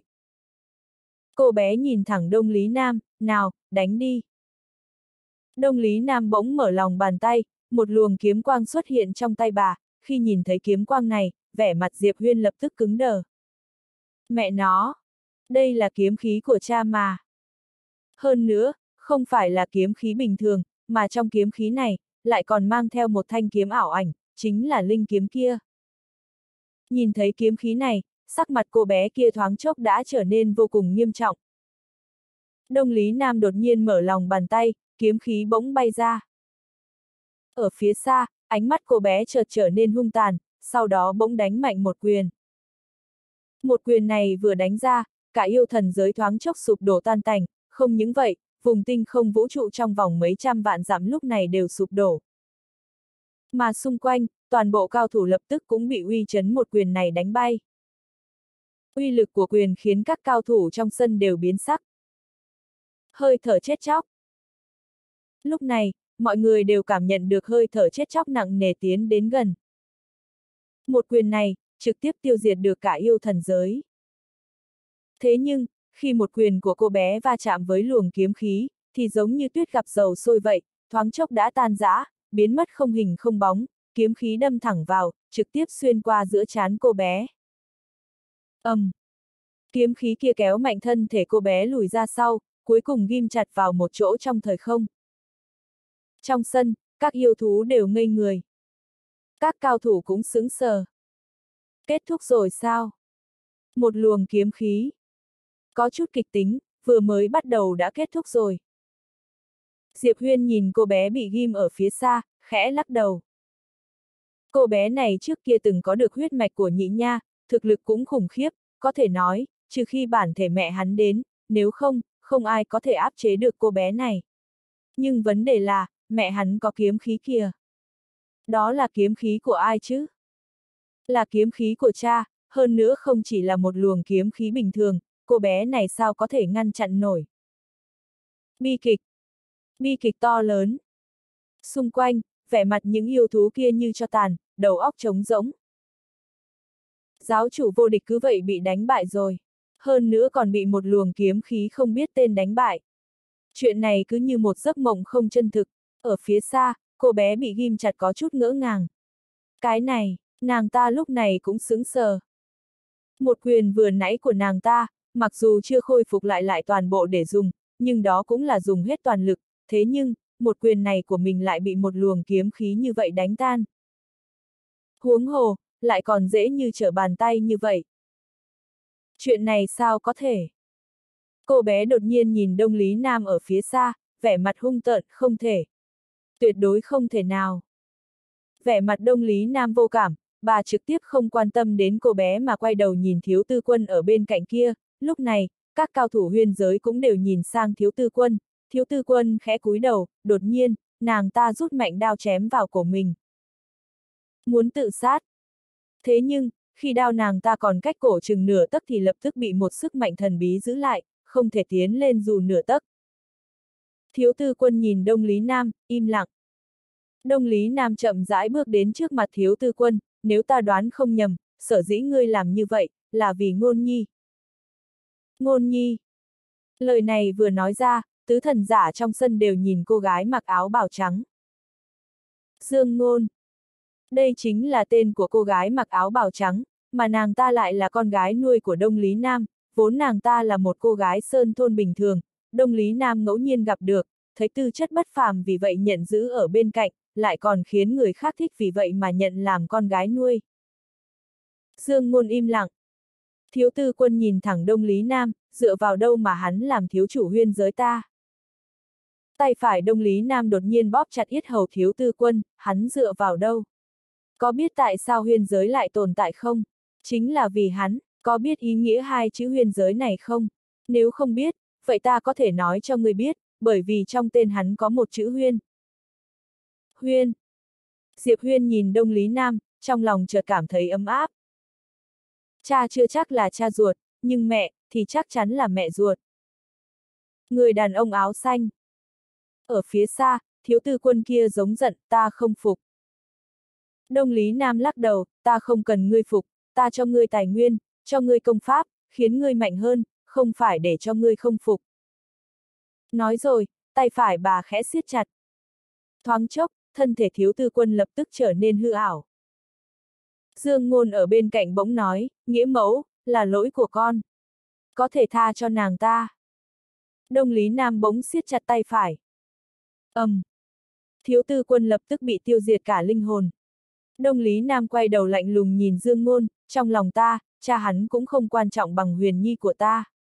Hiểu không? Nghe vậy, sắc mặt Dương Ngôn lập tức trở nên trắng bệch. Đông Lý Nam bỗng nói, yêu thú thế gian này, giết toàn bộ. Vừa dứt lời, 16 đầu thần giả sau lưng bà đột nhiên biến mất kỳ lạ, sau đó, từng tiếng kêu thảm thiết vang vọng trong sân. Ở phía xa, cô bé kia đột nhiên hung hăng nói, nữ nhân, người dám. Đông Lý Nam nhìn cô bé, người xem ta dám hay không dám. Cô gái đột nhiên mở lòng bàn tay, một chiếc hộp bỗng phóng ra từ trong tay nàng ta. Thấy vậy, tiểu tháp đột nhiên lên tiếng, chết tiệt, cô bé này lại có hộp của tiểu bạch. Mẹ nó! Diệp Huyên cũng có chút bất ngờ. Rốt cuộc cô bé này và nhị nha với cả tiểu bạch có quan hệ gì? Ngay lúc này, chân trời phía xa đột nhiên xuất hiện một bức tranh, trong bức tranh, một cô bé dần dần xuất hiện. Cô bé mặc áo tay ngắn để lộ cánh tay, chính giữa bộ quần áo còn có một con dấu yêu thú nhỏ đáng yêu, mà phía dưới nàng ta lại mặc một cái quần nhỏ bó sát, trên quần còn có mấy vết rách. Nhị nha. Cô bé này chính là nhị nha, chẳng qua nhị nha lúc này hình như bị đánh rồi. Khóe miệng chảy máu, sừng trên đầu cũng bị mất một nửa, không những vậy, đuôi còn xuất hiện vô số vết nứt.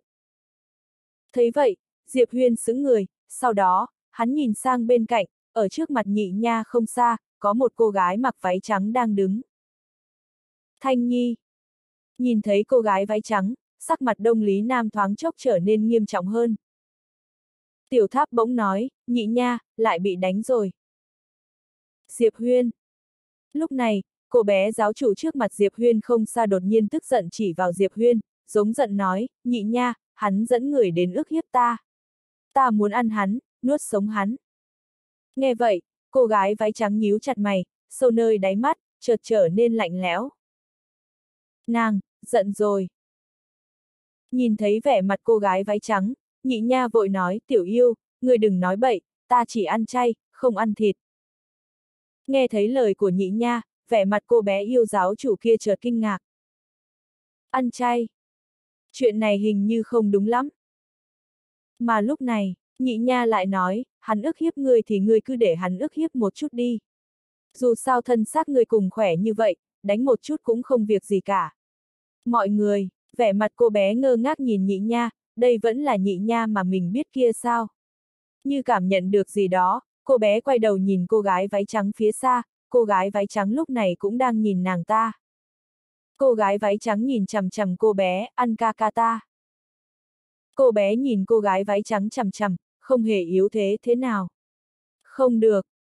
Cô gái váy trắng khẽ gật đầu, nào, ngươi ăn đi. Ta xem xem. Cô bé tức giận chỉ đông lý nam phía xa, giống giận, nữ nhân, ngươi có dám để nàng ta thu hồi luồng kiếm khí kia không? Ở phía xa, đông lý nam lập tức thu hồi kiếm khí của người đàn ông áo xanh, sau đó nói, nào, ta xem ngươi biểu diễn.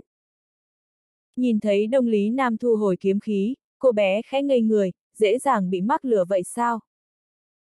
Không nghĩ nhiều, sau khi đông lý nam thu hồi luồng kiếm khí, thân xác cô bé lập tức khôi phục nhanh chóng với tốc độ cực kỳ kinh khủng, không lâu sau, thân xác nàng ta đã khôi phục hoàn toàn.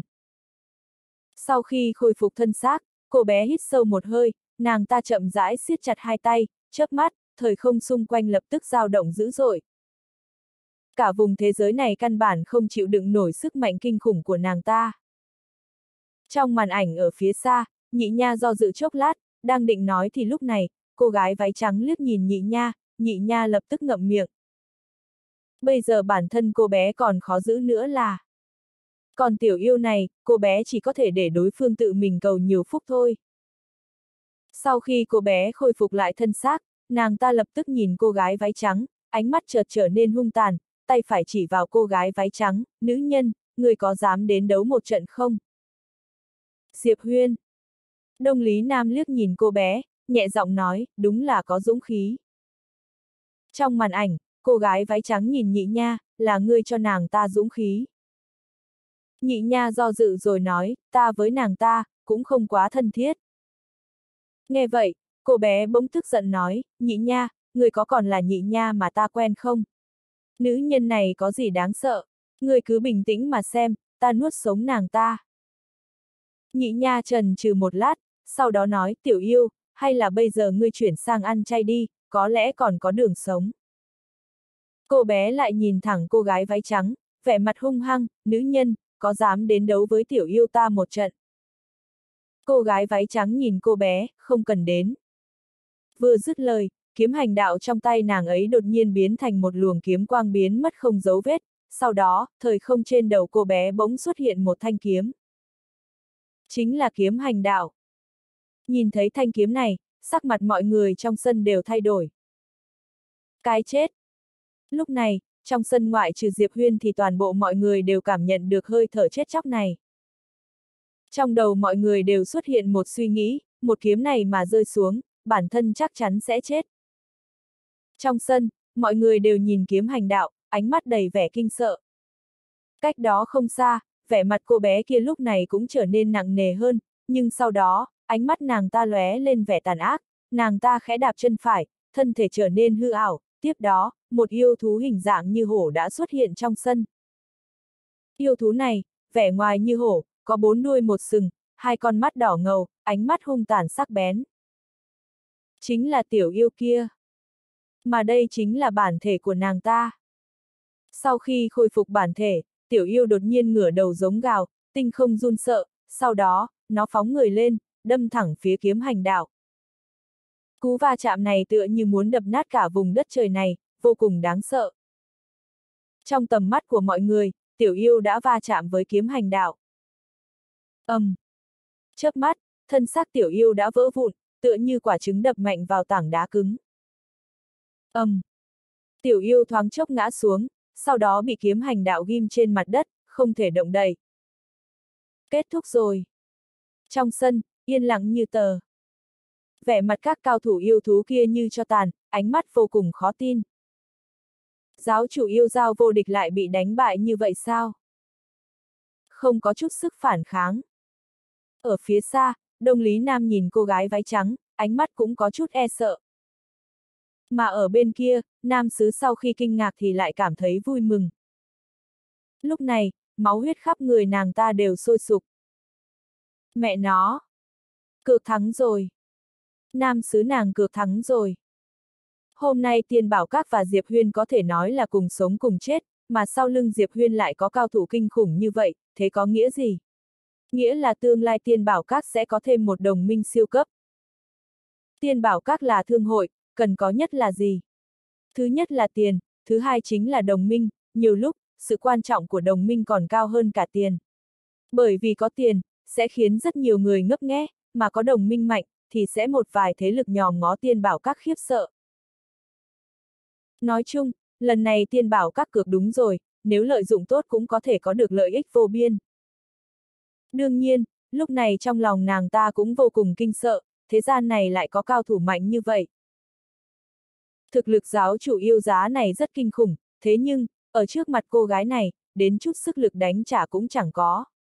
Cô gái mặc váy trắng này mạnh đến mức độ nào chứ? Trong màn ảnh phía xa, cô gái váy trắng nhìn tiểu yêu bị ghim dưới đất, vẻ mặt bình tĩnh, ánh mắt không vương chút tình cảm. Trên mặt đất, vẻ mặt tiểu yêu mờ mịt, lại bị bại bởi một chiêu. Bản thân đang nằm mơ sao? Tiểu yêu ngẩng đầu nhìn cô gái váy trắng trong màn ảnh, ánh mắt đầy vẻ khó tin, chuyện này, chuyện này không thể. Tiểu bạch trên vai nhị nha do dự chốc lát, sau đó khẽ vùng bàn tay nhỏ lên, cuối cùng, bàn tay nhỏ của cô bé chỉ vào đầu mình. Diệp Huyên vội hỏi, tiểu tháp, tiểu bạch đang nói gì? Tiểu tháp trầm giọng nói, nàng ta đang nói, tiểu yêu đừng chỉ tu luyện thực lực, mà còn phải tu luyện đầu óc. Còn nữa, nàng ta nói đừng chọc giận thiên mệnh tỷ tỷ, nàng ta chưa chọc bao giờ, nên nàng ta chưa từng bị đánh bao giờ. Nghe vậy, Diệp Huyên nhìn tiểu bạch, tiểu bạch thầm liếc nhìn thiên mệnh, sau đó lại vội vàng trốn sau lưng nhị nha. Thiên mệnh nhìn tiểu bạch, thấy thiên mệnh nhìn sang, tiểu bạch chớp mắt, sau đó nhếch miệng cười, gương mặt sáng lạn. Thiên mệnh rời mắt, quay người nhìn Diệp Huyên, khi ánh mắt nhìn sang Diệp Huyên, vẻ lạnh nhạt trong ánh mắt nàng ấy đã biến mất hoàn toàn. Diệp Huyên khẽ cười, Thanh Nhi. Thiên mệnh gật đầu, Huynh chơi tiếp đi, ta có chút chuyện phải làm. Nói rồi, hình ảnh sắp biến mất. Lúc này, Diệp Huyên vội nói, Thanh Nhi, có thể giúp ta chút chuyện nhỏ không? Thanh Nhi hỏi, tiêu diệt vũ trụ huynh đang ở. Vẻ mặt Diệp Huyên cứng đờ, lúc này, Thanh Nhi gật đầu, được. Nói rồi, kiếm hành đạo trên người tiểu yêu bỗng nhiên phóng lên trời, sau đó, kiếm lại rơi ngược xuống, thoáng chốc, cả yêu thần giới lập tức bốc cháy, không đúng, là cả vũ trụ lập tức bốc cháy. Thấy vậy, vẻ mặt mọi người trong sân đều thay đổi. Bởi vì bọn họ phát hiện, một kiếm này nhắm vào không chỉ là một người, mà là tất cả bọn họ. Đây là muốn diệt cả thế giới sao? Mọi người đều hoảng sợ. Diệp Huyên vội nói, Thanh Nhi, không phải tiêu diệt vũ trụ. Không phải. Hắn cũng đổ cả mồ hôi hột, một kiếm này của Thanh Nhi vừa xuống, trong sân ngoại trừ hắn, e là không ai có thể sống sót. Nghe thấy lời Diệp Huyên, thiên mệnh chớp mắt, không phải sao. Diệp Huyên gật đầu. Thiên mệnh khẽ gật đầu, mở lòng bàn tay, kiếm hành đạo lập tức quay về trong tay nàng ấy. Mọi người trong sân lập tức thở phào nhẹ nhõm. Nếu kiếm này rơi xuống, thì mọi người coi như xong. Diệp Huyên cũng chảy mồ hôi lạnh, Thanh Nhi nói tiêu diệt vũ trụ thì đúng là làm như vậy. Không thể không nói, Thanh Nhi đúng thật rất nguy hiểm. Không nghĩ nhiều, Diệp Huyên mở lòng bàn tay, sau đó nói, Thanh Nhi, có thể giúp ta cải tạo tiểu tháp này chút không? Nghe vậy, tiểu tháp bỗng run giọng nói, tiểu chủ, người còn có thể nghĩ đến ta. Ta cảm động quá đi, sau này ta sẽ không mắng ngươi trong lòng nữa. Diệp Huyên. Nghe thấy lời này của Diệp Huyên, ánh mắt thiên mệnh nhìn sang tiểu tháp, nàng ấy im lặng một lúc rồi nói, huynh muốn cải tạo thế nào? Diệp Huyên cười nói, Thanh Nhi muội cứ xem rồi làm thôi. Dù sao, cố gắng biến nó lợi hại một chút thôi. Thiên mệnh nhìn tiểu tháp, người có yêu cầu gì? Tiểu tháp do dự một lúc rồi nói, dưới tam kiếm là vô địch. Vẻ mặt Diệp Huyên cứng đờ, mẹ nó, tiểu tháp này đúng là dám nói đấy. Vẻ mặt thiên mệnh bình tĩnh, ngươi chỉ là một cái tháp. Tiểu tháp. Diệp Huyên lắc đầu cười, sau đó nói, Thanh Nhi, muội xem rồi làm đi. Thiên mệnh khẽ gật đầu, sau đó, nàng ấy mở lòng bàn tay, tiểu tháp lập tức đã xuất hiện trong tay nàng ấy.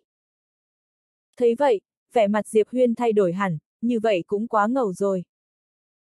Khoảng cách thời không ở trước mặt Thanh Nhi giống như không tồn tại vậy. Một chiêu này, cũng quá ngầu rồi. Thanh Nhi nhìn tiểu tháp trong tay, im lặng một lúc, thì nàng mở tay trái, một luồng kiếm quang xuất hiện trong tay nàng ấy, sau đó, kiếm quang bay thẳng vào tiểu tháp. ầm, um. Tiểu tháp run rẩy một trận. Diệp Huyên nhìn tiểu tháp, có chút mong chờ, lúc trước sau khi Thanh Nhi cải tạo tiểu tháp, tiểu tháp đã sở hữu được công năng tu luyện nghịch thiên, mà hắn có đạt được nhiều lợi ích từ tiểu tháp, phải biết rằng, nếu không có lực lượng nghịch thời gian bên trong tiểu tháp thì hắn cũng không thể học được trảm tương lai. Mà lần này, tiểu tháp sẽ sở hữu năng lực đặc biệt gì đây? Lúc này, thiên mệnh đột nhiên nhìn nhị nha, thấy thiên mệnh nhìn sang, mí mắt nhị nha khẽ giật, nhưng cô bé vẫn có chút quật cường, cô bé chậm rãi siết chặt tay phải, nữ nhân, bây giờ ta đánh không thắng ngươi, ngươi có dám cho ta chút thời gian không? Thiên mệnh nhìn nhị nha, bao lâu? Nhị nha do dự chốc lát rồi quay đầu nhìn tiểu bạch, chúng ta cần bao nhiêu thời gian thì thích hợp. Tiểu bạch chớp mắt, một lúc sau, cô bé giơ bàn tay nhỏ ra. Nhị nha nhìn bàn tay nhỏ của tiểu bạch, sau đó quay đầu nhìn thiên mệnh phía xa, sau đó, cô bé cũng giơ bàn tay nhỏ ra, tiểu bạch nói, 500 triệu năm. Ngươi cho ta 500 triệu năm. Nghe vậy, tiểu bạch nhìn nhị nha, vẻ mặt sửng sốt. 500 triệu năm, nghe thấy lời của nhị nha, Diệp Huyên suýt nữa ngất xỉu. Thiên mệnh nhìn nhị nha, không nói gì. Nhị nha do dự chốc lát rồi nói, ngươi, đánh đánh giết giết, không tốt đâu. Thiên mệnh, tính khí ngươi đừng nóng nãy như vậy, ngươi xem ta, tính khi ta thay đổi rất nhiều rồi. Tiểu bạch nhìn nhị nha, khẽ chớp mắt. Thiên mệnh liếc nhìn nhị nha, nàng ấy mở lòng bàn tay, sau lưng nhị nha không xa, hai chiếc sừng gãy lơ lửng bỗng bay vào trong tay nàng ấy. Thiên mệnh lập tức lấy hai chiếc sừng gãy cắm vào trên đầu tiểu tháp. ầm, um.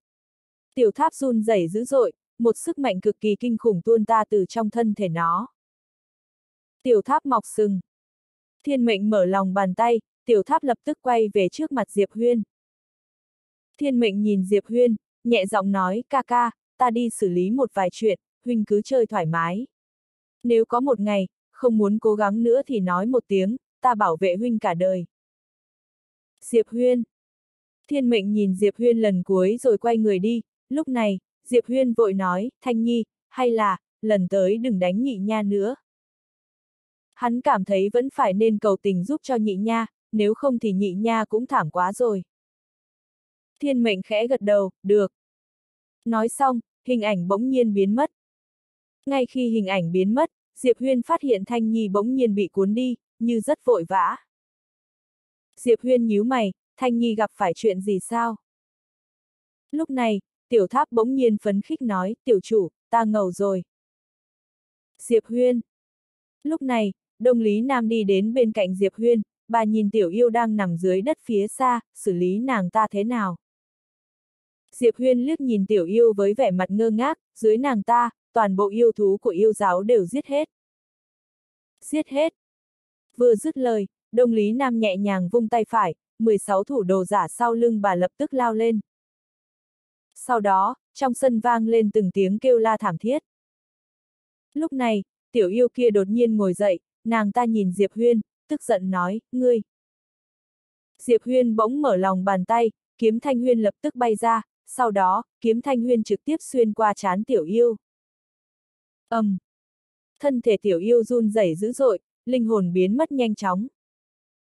Diệp Huyên nhìn tiểu yêu chằm chằm, vốn muốn nể mặt nhị nha, tha cho ngươi một mạng, nhưng bây giờ xem ra, ngươi vẫn như cũ không nhìn rõ mọi chuyện, nếu đã như vậy, thì ngươi cứ đi cùng những yêu thú của ngươi đi.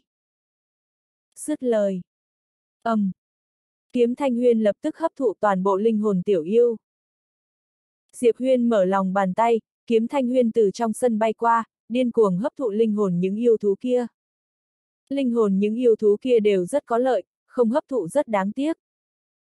Không lâu sau, toàn bộ linh hồn yêu thú trong sân đã hoàn toàn bị hấp thụ. Mà toàn bộ yêu thú của cả yêu giáo cũng đều bị giết sạch. Ở bên cạnh, Nam Sứ và nhóm cao thủ tiên bảo các đều trầm mặc. Yêu giáo lớn mạnh cứ vậy bị tiêu diệt rồi. Không thể không nói, lúc này bọn họ có chút bùi ngùi, trên thế giới này, không có người mạnh nhất, mà chỉ có mạnh hơn. Tiên bảo các phải xem đó làm bài học. Lúc này, Đông Lý Nam bỗng nhiên nhìn sang Nam Sứ, ngươi là của tiên bảo các. Nam Sứ khẽ cười, đúng vậy. Đông Lý Nam gật đầu, từ nay trở đi, tiên bảo các ngươi chính là đồng minh của huyên giới ta, nhà họ Dương ta còn tồn tại một ngày, thì tiên bảo các ngươi vĩnh viễn sẽ không biến mất. Nhà họ Dương. Nam Sứ chớp mắt, nhà họ Dương. Tiểu tháp ở bên cạnh đột nhiên nói, tỷ tỷ xinh đẹp, người còn không mau chóng tạ ơn chủ mẫu đi. Người có biết là có lời này của chủ mẫu, thì tiên bảo các người vĩnh viễn sẽ không có ai ức hiếp cả. Nam sứ do dự rồi khẽ thi lễ, đa tạ. Thật ra, nàng ta thầm nghĩ trong lòng. Nhà họ Dương. Thật sự nàng ta chưa từng nghe đến bao giờ. Đông Lý Nam khẽ gật đầu, bà nhìn Diệp Huyên, quay về huyên giới cùng bọn họ sao. Diệp Huyên trần trừ chốc lát rồi nói, con muốn quay về Thanh Châu một chuyến. Đã lâu rồi hắn chưa quay về Thanh Châu, cũng nên quay về thăm rồi. Đông Lý Nam ngẫm nghĩ rồi gật đầu, được. Nói rồi, bà quay người nhìn cô gái áo bảo trắng dương ngôn phía xa, nàng ta khẽ cúi đầu, không nói gì. Ánh mắt Đông Lý Nam lạnh dần, một lúc sau, bà nói các ngươi quay về đi. Quay về. Tứ thần giả khẽ thi lễ, sau đó quay người rời đi. 16 đầu thần giả cũng rời đi theo. Dương Ngôn nhìn Đông Lý Nam, sau đó quay người rời đi. Đông Lý Nam nhìn Diệp Huyên, nhẹ giọng nói, sống cho tốt, mẹ mãi mãi là hậu phương của con. Nói rồi, thân thể bà dần trở nên hư ảo. Diệp Huyên khẽ cười, đợi con đi tìm mẹ. Đông Lý Nam khẽ cười, nói, được. Nói rồi, bà mở lòng bàn tay, một luồng sáng trắng đi vào giữa chán Diệp Huyên, sau đó hoàn toàn biến mất. Diệp Huyên im lặng, luồng sáng trắng kia, chính là vị trí của huyên giới. Lúc này, nam sứ kia đi đến bên cạnh Diệp Huyên, nàng ta khẽ cười, Diệp công tử, chúng ta cũng phải đi rồi. Diệp Huyên nhìn nam sứ, nam sứ cô nương, đa tạ. Nam sứ chớp mắt, đến lúc thì chúng ta đến huyên giới tìm ngươi sao? Diệp Huyên gật đầu, có thể. Nói rồi, hắn mở lòng bàn tay, một luồng sáng trắng đi vào giữa chán nam sứ. Nam sứ cười nói, Diệp công tử, chúng ta gặp tại huyên giới. Nói xong, nàng ta định đưa các cao thủ tiên bảo các rời đi. Lúc này, Diệp Huyên bỗng nói, Nam sứ cô nương. Nam sứ quay đầu nhìn Diệp Huyên, Diệp Huyên cười nói, yêu giáo đã bị tiêu diệt, toàn bộ tài sản của yêu giáo đều thuộc về tiên bảo các. Nam sứ sừng sốt, nàng ta không nghĩ đến Diệp Huyên lại làm vậy, trước đó thực ra nàng ta cũng muốn một ít, nhưng không ngại mở lời. Nam sứ ngẫm nghĩ, sau đó nói, chúng ta mỗi người một nửa đi. Diệp Huyên cười nói, được. Nam sứ lập tức nói, mau đi thu thập. Vừa dứt lời, các cao thủ tiên bảo các sau lưng nàng ta lập tức thu thập tài sản của cải của những yêu thú kia. Nam sứ nhìn Diệp Huyên, cười nói, Diệp công tử, người thật hào phóng. Diệp Huyên lắc đầu, lần này tiên bảo các hy sinh vì ta quá nhiều, đây là những gì các ngươi nên có. Còn nữa, nam sứ cô nương, đến lúc thì nhớ đến huyên giới tìm ta. Nam sứ cười ha ha, chắc chắn. Nàng ta chắc chắn phải đi tìm Diệp Huyên, huyên giới kia, chắc chắn không phải một nơi nhỏ, nếu tiên bảo các có thể phát triển đến nơi đó, chẳng phải đáng vui mừng sao. Lúc này, thiên tiên sứ đi đến bên cạnh nam sứ, nàng ta lấy ra một chiếc nhẫn chứa đồ đưa cho nam sứ, nam sứ điểm ngón tay, chiếc nhẫn chứa đồ kia bay đến trước mặt Diệp Huyên, Diệp công tử, đã thu thập xong. Chúng ta sau này gặp lại. Nói xong, nàng ta quay người đưa các cao thủ tiên bảo các rời đi. Diệp Huyên đứng tại chỗ im lặng một lúc, sau đó hắn cất giữ nhẫn chứa đồ rồi quay người rời đi. Ở bên kia, một nơi nào đó trong tinh không, Dương Ngôn dừng lại, ở trước mặt nàng ta là 16 đồ thần giả. Dương Ngôn khẽ cười, nào, ra tay đi. Lúc này, đồ thần giả dẫn đầu khàn giọng nói, chủ nhân bảo ta hỏi ngươi một câu, ngươi có chỉ thị cho thiếu tư quân ám hại thiếu chủ không? Dương Ngôn lắc đầu. Đồ thần giả dẫn đầu im lặng một lúc rồi đưa 15 người bên cạnh quay người rời đi. Dương ngôn nhíu mày, không giết ta sao? Ở phía xa, đồ thần giả dẫn đầu nói, chủ nhân nói, không giết ngươi, nhưng kể từ lúc này, người và người sẽ không còn quan hệ gì, người vĩnh viễn không được quay về huyên giới. Còn nữa, chủ nhân nói, nể mặt những chuyện quá khứ, khuyên ngươi một câu cuối cùng, đừng bao giờ dở trò khôn vặt. Vừa dứt lời, hắn lập tức đưa 15 người còn lại biến mất nơi chân trời. Dương Ngôn ở tại chỗ trầm mặc một lúc, sau đó quay người rời đi. Ở bên kia, Diệp Huyên không quay về Thanh Châu, mà tìm một nơi ngồi xuống xếp bằng. Diệp Huyên mở lòng bàn tay, kiếm Thanh Huyên xuất hiện trong tay hắn, lúc này, kiếm Thanh Huyên đã đột phá rồi. Trước đó, kiếm Thanh Huyên đã hấp thụ linh hồn cao thủ toàn bộ yêu giáo, trong đó còn có cả linh hồn tiểu yêu kia. Diệp Huyên quan sát kỹ lưỡng kiếm Thanh Huyên, hắn phát hiện, kiếm Thanh Huyên đã có sự biến đổi, trên thân kiếm Thanh Huyên, có một luồng sức mạnh thần bí đang chảy. Sức mạnh yêu thú. Đây là do kiếm Thanh Huyên hấp thụ những cao thủ yêu thú mà có được. Diệp Huyên đột nhiên cầm kiếm Thanh Huyên khẽ vung lên, vừa vung kiếm thời không xung quanh lập tức rung chuyển một hồi, sau đó chớp mắt đã bị chôn vùi. Nhất kiếm chảm mệnh. Lúc này, tốc độ thời gian trôi qua của hắn còn nhanh hơn lúc trước mấy chục lần. Thấy vậy, Diệp Huyên khẽ nhếch miệng, lần này, đối với hắn mà nói, những trận đại chiến cũng chẳng phải chuyện xấu nữa. Với thực lực hiện tại của hắn, muốn giết lục trọng cảnh mà nói, đã là chuyện dễ như trở bàn tay rồi. Diệp Huyên cất kiếm thanh huyên, sau đó mở lòng bàn tay, tiểu tháp xuất hiện trong tay hắn, nhìn tiểu tháp trong tay, Diệp Huyên khẽ cười, tiểu tháp, Thanh Nhi đã thay đổi gì cho ngươi rồi? Tiểu tháp im lặng một lát rồi nói, ta không biết. Nghe vậy, Diệp Huyên đen mặt, không biết. Sao ngươi lại không biết? Tiểu tháp cũng bất đắc dĩ, ta thật sự không biết mà. Diệp Huyên ngẫm nghĩ rồi nói, cái sừng trên đầu ngươi, là của nhị nha sao? Tiểu tháp nói, đúng vậy. Diệp Huyên nói, ta có thể thử không? Tiểu tháp trần trừ rồi nói, thử thế nào? Diệp Huyên bỗng chém một kiếm lên cặp sừng kia. ầm, um. Tiểu tháp run rẩy một hồi, mà bản thân Diệp Huyên lập tức bay ra mấy nghìn trượng, hắn vừa dừng lại thì cánh tay lập tức nứt ra, máu tươi bắn tung tóe. Thấy vậy, Diệp Huyên lập tức ngây người. Cứng vậy sao? Diệp Huyên nhìn tiểu tháp, có phần khó tin, chết tiệt, tiểu tháp, cặp sừng này của ngươi, khá mạnh đấy. Tiểu tháp cười ha ha, ta biết ta mạnh lên chỗ nào rồi. Diệp Huyên hỏi, chỗ nào? Tiểu tháp nói, ta cứng lên rồi. Diệp Huyên. Tiểu tháp nói tiếp, tiểu chủ, ta phát hiện ra, lúc trước thiên mệnh tỷ tỷ nặn lại thân tháp ta, bây giờ thì ta trở nên cứng cáp rồi, ngay cả tiểu hồn cũng khó mà khiến ta bị thương được. Còn có cặp sừng này của ta, cặp sừng này của ta là của nhị nha, uy lực vô biên. Nếu đánh nhau, ai có thể đập được ta chứ? Diệp Huyên im lặng. Đừng nói chứ hắn còn có e sợ khi đập tiểu tháp này. Tiểu tháp lại nói, tiểu chủ, sau này đánh nhau, cứ để ta ra. Để ta ra, tiểu tháp ta cuối cùng cũng vô địch rồi. Ha ha, Diệp Huyên do dự một lúc rồi nói, người nghĩ có nên khiêm tốn chút không? Tiểu tháp cười lớn, khiêm tốn. Chắc chắn là không thể. Tiểu chủ, ta nói cho người biết, là tiểu tháp ta sinh ra muộn thôi. Nếu sinh sớm hơn chút, thiên hạ này còn có tam kiếm gì chứ? Trời không sinh tiểu tháp ta, kiếm đạo muôn đời cũng như đêm dài. Diệp Huyên. Diệp Huyên nghe lời tiểu tháp nói thì cảm thấy tiêu rồi. Tiểu tháp này muốn bung rồi à? Nó bung tới mức sắp không biết mình là ai rồi. Diệp Huyên suy nghĩ, tiểu tháp, người bình tĩnh đi. Tiểu tháp cười ha ha, ta không thể bình tĩnh được. Tiểu chủ, đi nào, đi gây họa thôi, người đừng sợ, có ta bảo vệ người. Diệp Huyên. Tiểu hồn đột nhiên nói, chủ nhân, tiểu tháp ngông quá rồi. Diệp Huyên gật đầu, đáp nhận ra rồi. Tiểu hồn lại nói, làm sao đây? Diệp Huyên suy nghĩ, tiểu tháp, người muốn đánh nhau với cha ta không? Trên bầu trời, tiểu tháp do dự một lúc, không tốt lắm đâu.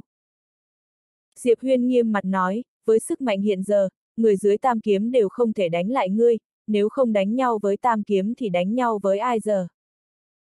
Tiểu tháp vẫn hơi do dự. Diệp Huyên tiếp tục, đánh cha ta đi, ta ủng hộ ngươi. Tiểu tháp suy nghĩ, sau đó lắc đầu, không. Diệp Huyên lạnh lùng nói, chẳng phải ngươi đã vô địch rồi sao? Tiểu tháp nghiêm túc đáp, đó là chủ nhân, còn tiểu tháp ta có giỏi cỡ nào thì cũng không thể làm ra chuyện phản phúc giết chủ được, ta là một cái tháp có đạo đức. Diệp Huyên bĩu môi đáp, ngươi cứ nói thẳng là mình không dám đi. Hắn nói xong thì quay đầu biến mất ở nơi chân trời. Tiểu tháp. Không lâu sau, Diệp Huyên quay về lại Thanh Châu. Diệp Huyên không đi tìm thác bạt ngạn mà đến Thư viện Thương Lan trước. Bây giờ, Thư viện Thương Lan đã là thế lực mạnh nhất trên thanh thương giới, mỗi năm đều có vô số thiên tài yêu nghiệt đến Thương Lan, hy vọng có thể được gia nhập học viện, trở thành một thành viên của học viện. Muốn gia nhập học viện Thương Lan là một chuyện thật sự không hề dễ dàng, vì yêu cầu tuyển sinh khó dần qua các năm, không chỉ có vậy, học viện Thương Lan còn có chế độ sàng lọc. Mỗi năm học viện đều tổ chức thi, những học sinh xếp sau cùng đều sẽ bị đào thải. Không vào được học viện thì không quá mất mặt, nhưng nếu bị học viện Thương Lan đuổi, đúng là không biết giấu mặt đi đâu. Vì vậy, sau khi vào được học viện, một số yêu nghiệt và thiên tài lại càng phải liều mạng hơn. Dưới chân núi của học viện Thương Lan có một bức tượng khổng lồ đứng sừng sững, là tượng của Diệp Huyên. Học viện Thương Lan có được quy mô ngày hôm nay, đương nhiên không thể không kể đến sự giúp đỡ của Diệp Huyên. Mặc dù Diệp Huyên không có ở Thanh Châu nhưng nếu không nhờ vào việc thỉnh thoảng cung cấp tài nguyên tu luyện cũng như công pháp, huyền kỹ của hắn thì học viện Thương Lan vốn không thể nào phát triển được như hôm nay. Trong số những học viên của học viện Thương Lan, Diệp Huyên là nhân vật tồn tại như thần. Hôm nay, Diệp Huyên đến dưới chân núi của Thương Lan, nhìn học viện phía trước mặt, hắn nở nụ cười. Cảm giác như về nhà. Nơi đây làm hắn có cảm giác thân thiết đến kỳ lạ. Tiểu An, Tiểu Thất, Mạc Phân Khởi, Bạch Trạch. Diệp Huyên mỉm cười, đang định lên núi thì liền có giọng nói từ bên cạnh truyền tới, mẹ nó, là Nam Ly Thiên. Nam Ly Thiên. Câu nói đó vừa được thốt ra thì tất cả mọi người có mặt ở đó thi nhau quay đầu nhìn sang. Ở cách đó không xa, một cô gái từ từ đi tới trong sự bảo vệ của mười mấy ông già. Cô gái mặc một bộ áo bào màu tím, áo bào khá vừa người, đương nhiên, dáng người cô gái cũng chẳng tệ, ngực tấn công mông phòng thủ, đầy nóng bỏng, gợi cảm, đặc biệt là mái tóc dài đến hông, bóng mượt khiến người ta không kiềm lòng được mà muốn sờ lên. Ngũ quan của cô gái cũng rất thanh tú, đặc biệt là đôi mắt, vừa to, vừa tròn, chỉ là ánh mắt hơi lạnh lùng, khiến người ta có cảm giác như ở xa cách cả ngàn dặm. Tay trái của cô gái cầm một thanh kiếm dài có vỏ. Nam Ly Thiên. Lúc nhìn thấy cô gái, mọi người đều thốt lên kinh ngạc, sau đó không khí chợt sôi trào. Nếu nói đến nhân tài yêu nghiệt nổi tiếng nhất ở Thanh Châu hiện tại thì chỉ có thể là Nam Ly Thiên. Nam Ly Thiên được tôn là thiên tài tu luyện yêu nghiệt nhất sau Diệp Huyên, cộng thêm vẻ ngoài xinh đẹp, nàng ta hiển nhiên trở thành người tình trong mộng của vô số thanh niên ở Thanh Châu. Diệp Huyên quan sát Nam Ly Thiên, ánh mắt thoáng vẻ kỳ lạ, cô gái này thật sự có chút phi phàm. Lúc này, trên bầu trời của học viện Thương Lan cũng có một số học viên xuất hiện. Sau khi mấy học viên đó xuất hiện, tất cả ánh mắt đều đổ dồn về phía Nam Ly Thiên, một số còn không thể che giấu được sự sùng bái trong ánh mắt của mình. Bỗng có người hỏi, Nam Ly Thiên muốn gia nhập học viện Thương Lan sao? Chắc chắn rồi, bây giờ nàng ấy đã là thiên tài yêu nghiệt nhất của Thanh Châu, chỉ có học viện Thương Lan mới có thể dạy dỗ nàng ấy. Nam Ly Thiên từ từ bước đến trước bệ đá trong sự bảo vệ của mọi người, lúc này, trưởng lão chuyên phụ trách sát hạch trên đài liền đứng dậy. Trước mặt Nam Ly Thiên, ông ta không dám sơ suất. Nam Ly Thiên nhìn ông già, nói thì sao đây? Ông già vội đáp, bên trên đã căn dặn, Nam cô nương không cần khảo hạch, có thể trực tiếp trở thành đệ tử nòng cốt. Trực tiếp trở thành đệ tử nòng cốt. Nam Ly Thiên bình thản nói, vẫn nên khảo hạch. Ông già cười khó xử, Nam cô nương, mọi người đều biết thực lực của cô nương, không cần thiết phải thi. Nam Ly Thiên không nói gì thêm, nàng ta quay đầu, chậm chậm tiến về phía trước bức tượng của Diệp Huyên ở phía xa, ngẩng đầu lên nhìn thẳng vào bức tượng. Một lúc sau, nàng ta xòe bàn tay ra, thanh kiếm liền xuất hiện trong tay, nàng ta nói, ta lấy kiếm thể, trong vòng ba năm nhất định sẽ giỏi hơn ngươi. Ba năm. Nàng ta vừa thốt ra thì tất cả đều xôn xao. Diệp Huyên. Diệp Huyên là ai? Là viện trưởng của học viện Thương Lan, cũng là thiên tài yêu nghiệt nhất trong thanh thương giới từ trước đến nay. Truyền thuyết về hắn được lưu truyền khắp nơi trong thanh thương giới. Có thể nói, trong thanh thương giới, Diệp Huyên giống như một vị thần. Trước thời Diệp Huyên, dù cũng có nhiều thiên tài thì đều bị thế giới quên lãng hết, sau khi Diệp Huyên xuất hiện, không ai dám nói sẽ hơn được Diệp Huyên. Nhưng lúc này, Nam Ly Thiên lại lớn tiếng nói là trong vòng 3 năm sẽ vượt mặt được Diệp Huyên. Ngông cuồng. Phải thừa nhận là rất ngông. Lúc này, Nam Ly Thiên quay sang nhìn mọi người với vẻ khó chịu, các người cười ta ngông cuồng, ta cười các người vô dụng.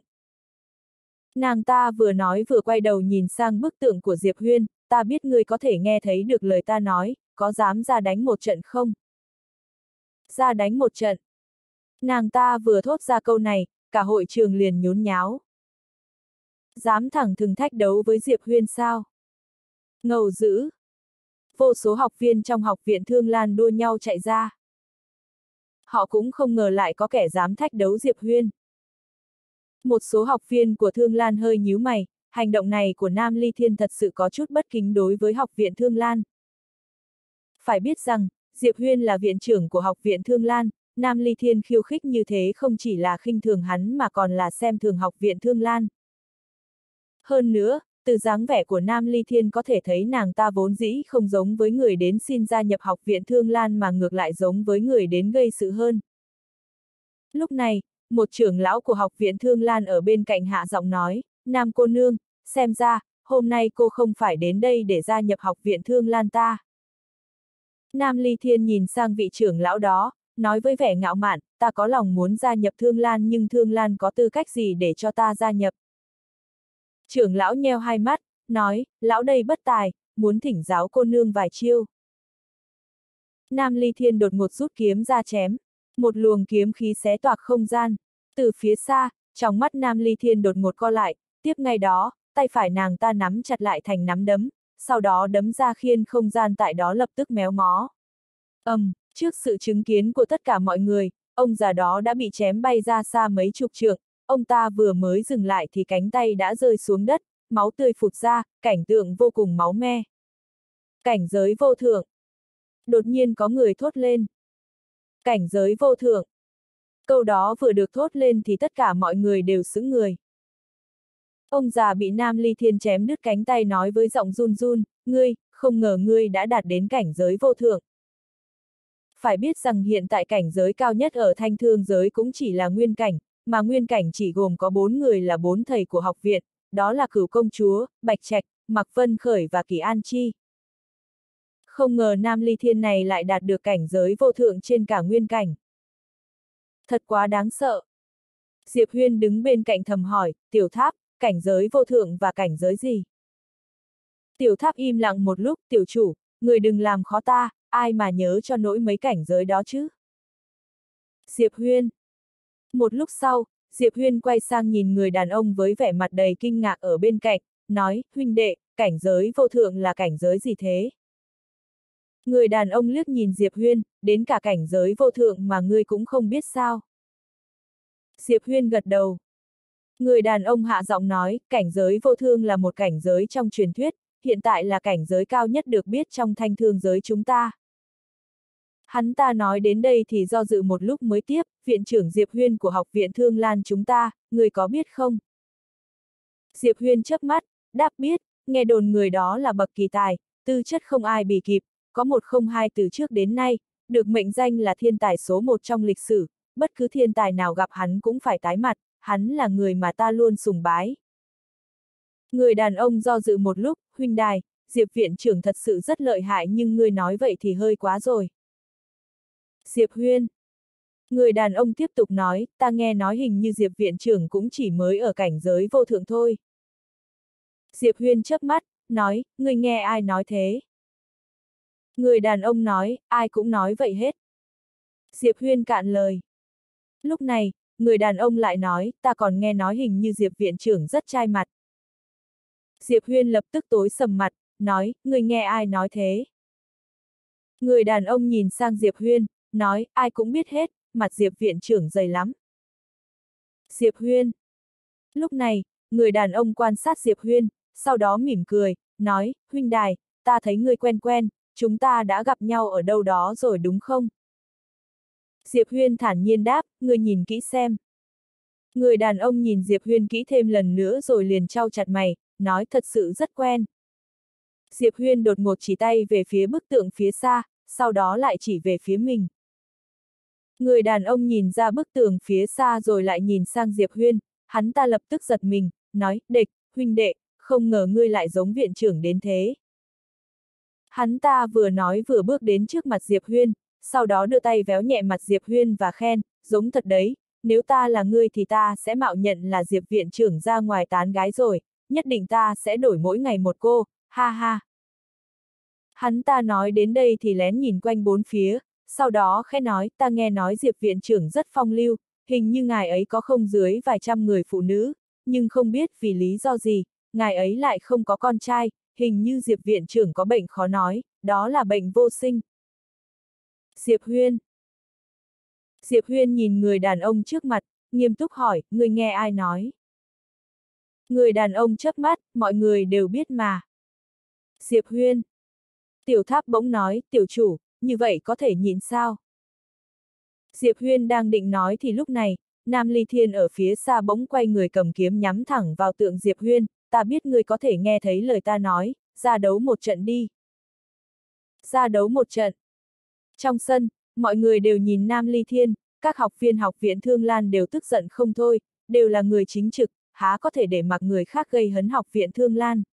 Lập tức có người muốn đứng ra nghênh chiến với Nam Ly Thiên. Mà lúc này, một âm thanh bỗng vang lên trong sân, mặc đạo sư. Mặc đạo sư. Nghe vậy, mọi người trong sân đều quay người nhìn về vị trí chỗ lòng núi phía xa, nơi đó có một người đàn ông đang chậm rãi bước xuống. Người đàn ông này, chính là Mạc Vân Khởi, một trong các đại đạo sư của học viện Thương Lan hiện giờ. Nhìn thấy Mạc Vân Khởi, các đệ tử học viện Thương Lan trong sân đều hành lễ. Nam Ly Thiên nhìn Mạc Vân Khởi, vẻ mặt kiêu ngạo.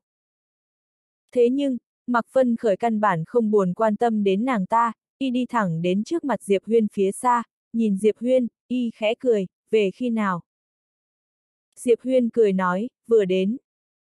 Mạc Vân Khởi quan sát Diệp Huyên, sau đó lắc đầu, khoảng cách giữa chúng ta, có phải càng lúc càng lớn rồi không? Diệp Huyên siết chặt nắm tay, đánh vào ngực Mạc Vân Khởi một cái, cười nói, về mặt nhan sắc, khoảng cách giữa chúng ta đúng thật càng lúc càng lớn. Hai người nhìn nhau, lắc đầu cười lớn. Lúc này, người đàn ông bên cạnh Diệp Huyên bỗng run giọng nói, Huynh, Diệp, người chắc không phải là Diệp, viện trưởng chứ? Diệp Huyên nhìn người đàn ông, cười nói, đoán đúng rồi. Vẻ mặt người đàn ông cứng đờ, sau đó, y lập tức ngã ngửa, đầu óc chỉ còn lại một suy nghĩ, xong rồi. Diệp Huyên. Trong sân bỗng chốc sôi sục. Diệp Huyên quay về rồi. Nhân vật lớn truyền kỳ trong truyền thuyết trở về rồi. Trên núi Thương Lan, vô số học tử đều chạy ra, gần như là toàn bộ đều đi ra, một vài trưởng lão học viện bế quan và đạo sư cũng đều xông ra ngoài. Không chỉ vậy, tin tức Diệp Huyên xuất hiện cũng nhanh chóng lan đi khắp Thanh Châu, thoáng chốc, vô số người đều vội chạy đến học viện Thương Lan. Diệp Huyên tuy là viện trưởng học viện Thương Lan, nhưng, người cả Thanh Châu này vô cùng tôn kính hắn, bởi vì trước đây hắn từng cứu giúp Thanh Châu, không những thế, còn nâng cao văn minh võ đạo Thanh Châu lên cao. Có thể nói, uy danh của Diệp Huyên ở cả Thanh Châu này rất rất cao. Dưới núi Thương Lan, vô số người đều nhìn về phía Diệp Huyên, ánh mắt đầy phấn khích và tôn sùng. Mặc Vân khởi liếc nhìn Nam Ly Thiên bên cạnh, người ta đến tìm ngươi, ngươi giải quyết. Diệp Huyên nhìn Nam Ly Thiên, lúc này, Nam Ly Thiên cũng đang nhìn hắn. Diệp Huyên cười nói, Nam cô nương, chẳng phải ngươi muốn tỉ thí rèn luyện với ta sao? Đến đi. Nam Ly Thiên nhìn Diệp Huyên chằm chằm, Diệp viện trưởng, xin chỉ giáo. Vừa dứt lời, nàng ta mở lòng bàn tay, một thanh kiếm bỗng xuất hiện trong tay nàng ta, sau đó, nàng ta đột nhiên giống gào, vạn kiếm quy nguyên. Nói xong, kiếm trong tay nàng ta phóng lên trời, đâm thẳng vào trời xanh, sau đó, xung quanh không ngừng vang vọng tiếng kiếm từng hồi. Diệp Huyên nhíu mày, muội tử này muốn triệu hồi kiếm của toàn bộ kiếm tu tại Thanh Châu sao? Thú vị đấy. Ngay lúc này, Nam Ly Thiên mở lòng bàn tay, một hộp kiếm đã xuất hiện trong tay nàng ta, tiếp đó, cả vạn thanh kiếm bỗng nhiên bay ra từ trong hộp kiếm. Thấy vậy, Diệp Huyên chỉ im lặng. Tự chuẩn bị kiếm sao? Nam Ly Thiên kia tức giận chỉ vào Diệp Huyên, Diệp Huyên, xem thử kiếm kỹ mạnh nhất của ta đi. Vừa dứt lời, hai tay nàng ta tạo ấn, lầm nhầm niệm chú, rất nhanh sau đó, những thanh kiếm kia dao động, sau đó, cả vạn kiếm đồng loạt bắn về phía Diệp Huyên, vừa nhìn qua, thanh thế rất kinh người. Ở phía xa, Diệp Huyên khẽ cười, khi những thanh kiếm kia vừa đến trước mặt hắn chừng 10 trượng thì tất cả kiếm đột nhiên dừng lại, tiếp đó, toàn bộ kiếm lập tức rơi xuống đất, khẽ run rẩy. Đang sợ hãi. Vạn kiếm đang sợ hãi. Thấy vậy, ánh mắt Nam Ly Thiên kia đầy vẻ khó tin, chuyện này, sao có thể? Diệp Huyên mở lòng bàn tay, kiếm đến, vừa dứt lời, chớp mắt, cả Thanh Châu đều rung chuyển, ngay sau đó, phàm là kiếm trong Thanh Châu thì đều lập tức phóng lên trời, xuyên qua thời không cuối cùng đến bầu trời trên học viện Thương Lan, thoáng chốc trên bầu trời học viện Thương Lan đã tập hợp chừng trên trăm vạn thanh kiếm. Trong đó, có cả một vạn thanh kiếm do Nam Ly Thiên mang đến trước đó. Lúc này, Diệp Huyên lại nói, đến đi. Vừa dứt lời, tinh không vũ trụ xa xôi bỗng rung chuyển, sau đó, vô số kiếm từ trong tinh không lướt ngang bay vào thanh thương giới như sao băng, cuối cùng tập trung trên bầu trời học viện Thương Lan. Trên đầu mọi người, có ít nhất đến mấy trăm vạn thanh kiếm. Tất cả mọi người đều như hóa đá tại chỗ. Nam Ly Thiên kia nhìn Diệp Huyên như nhìn thấy quái vật ngươi.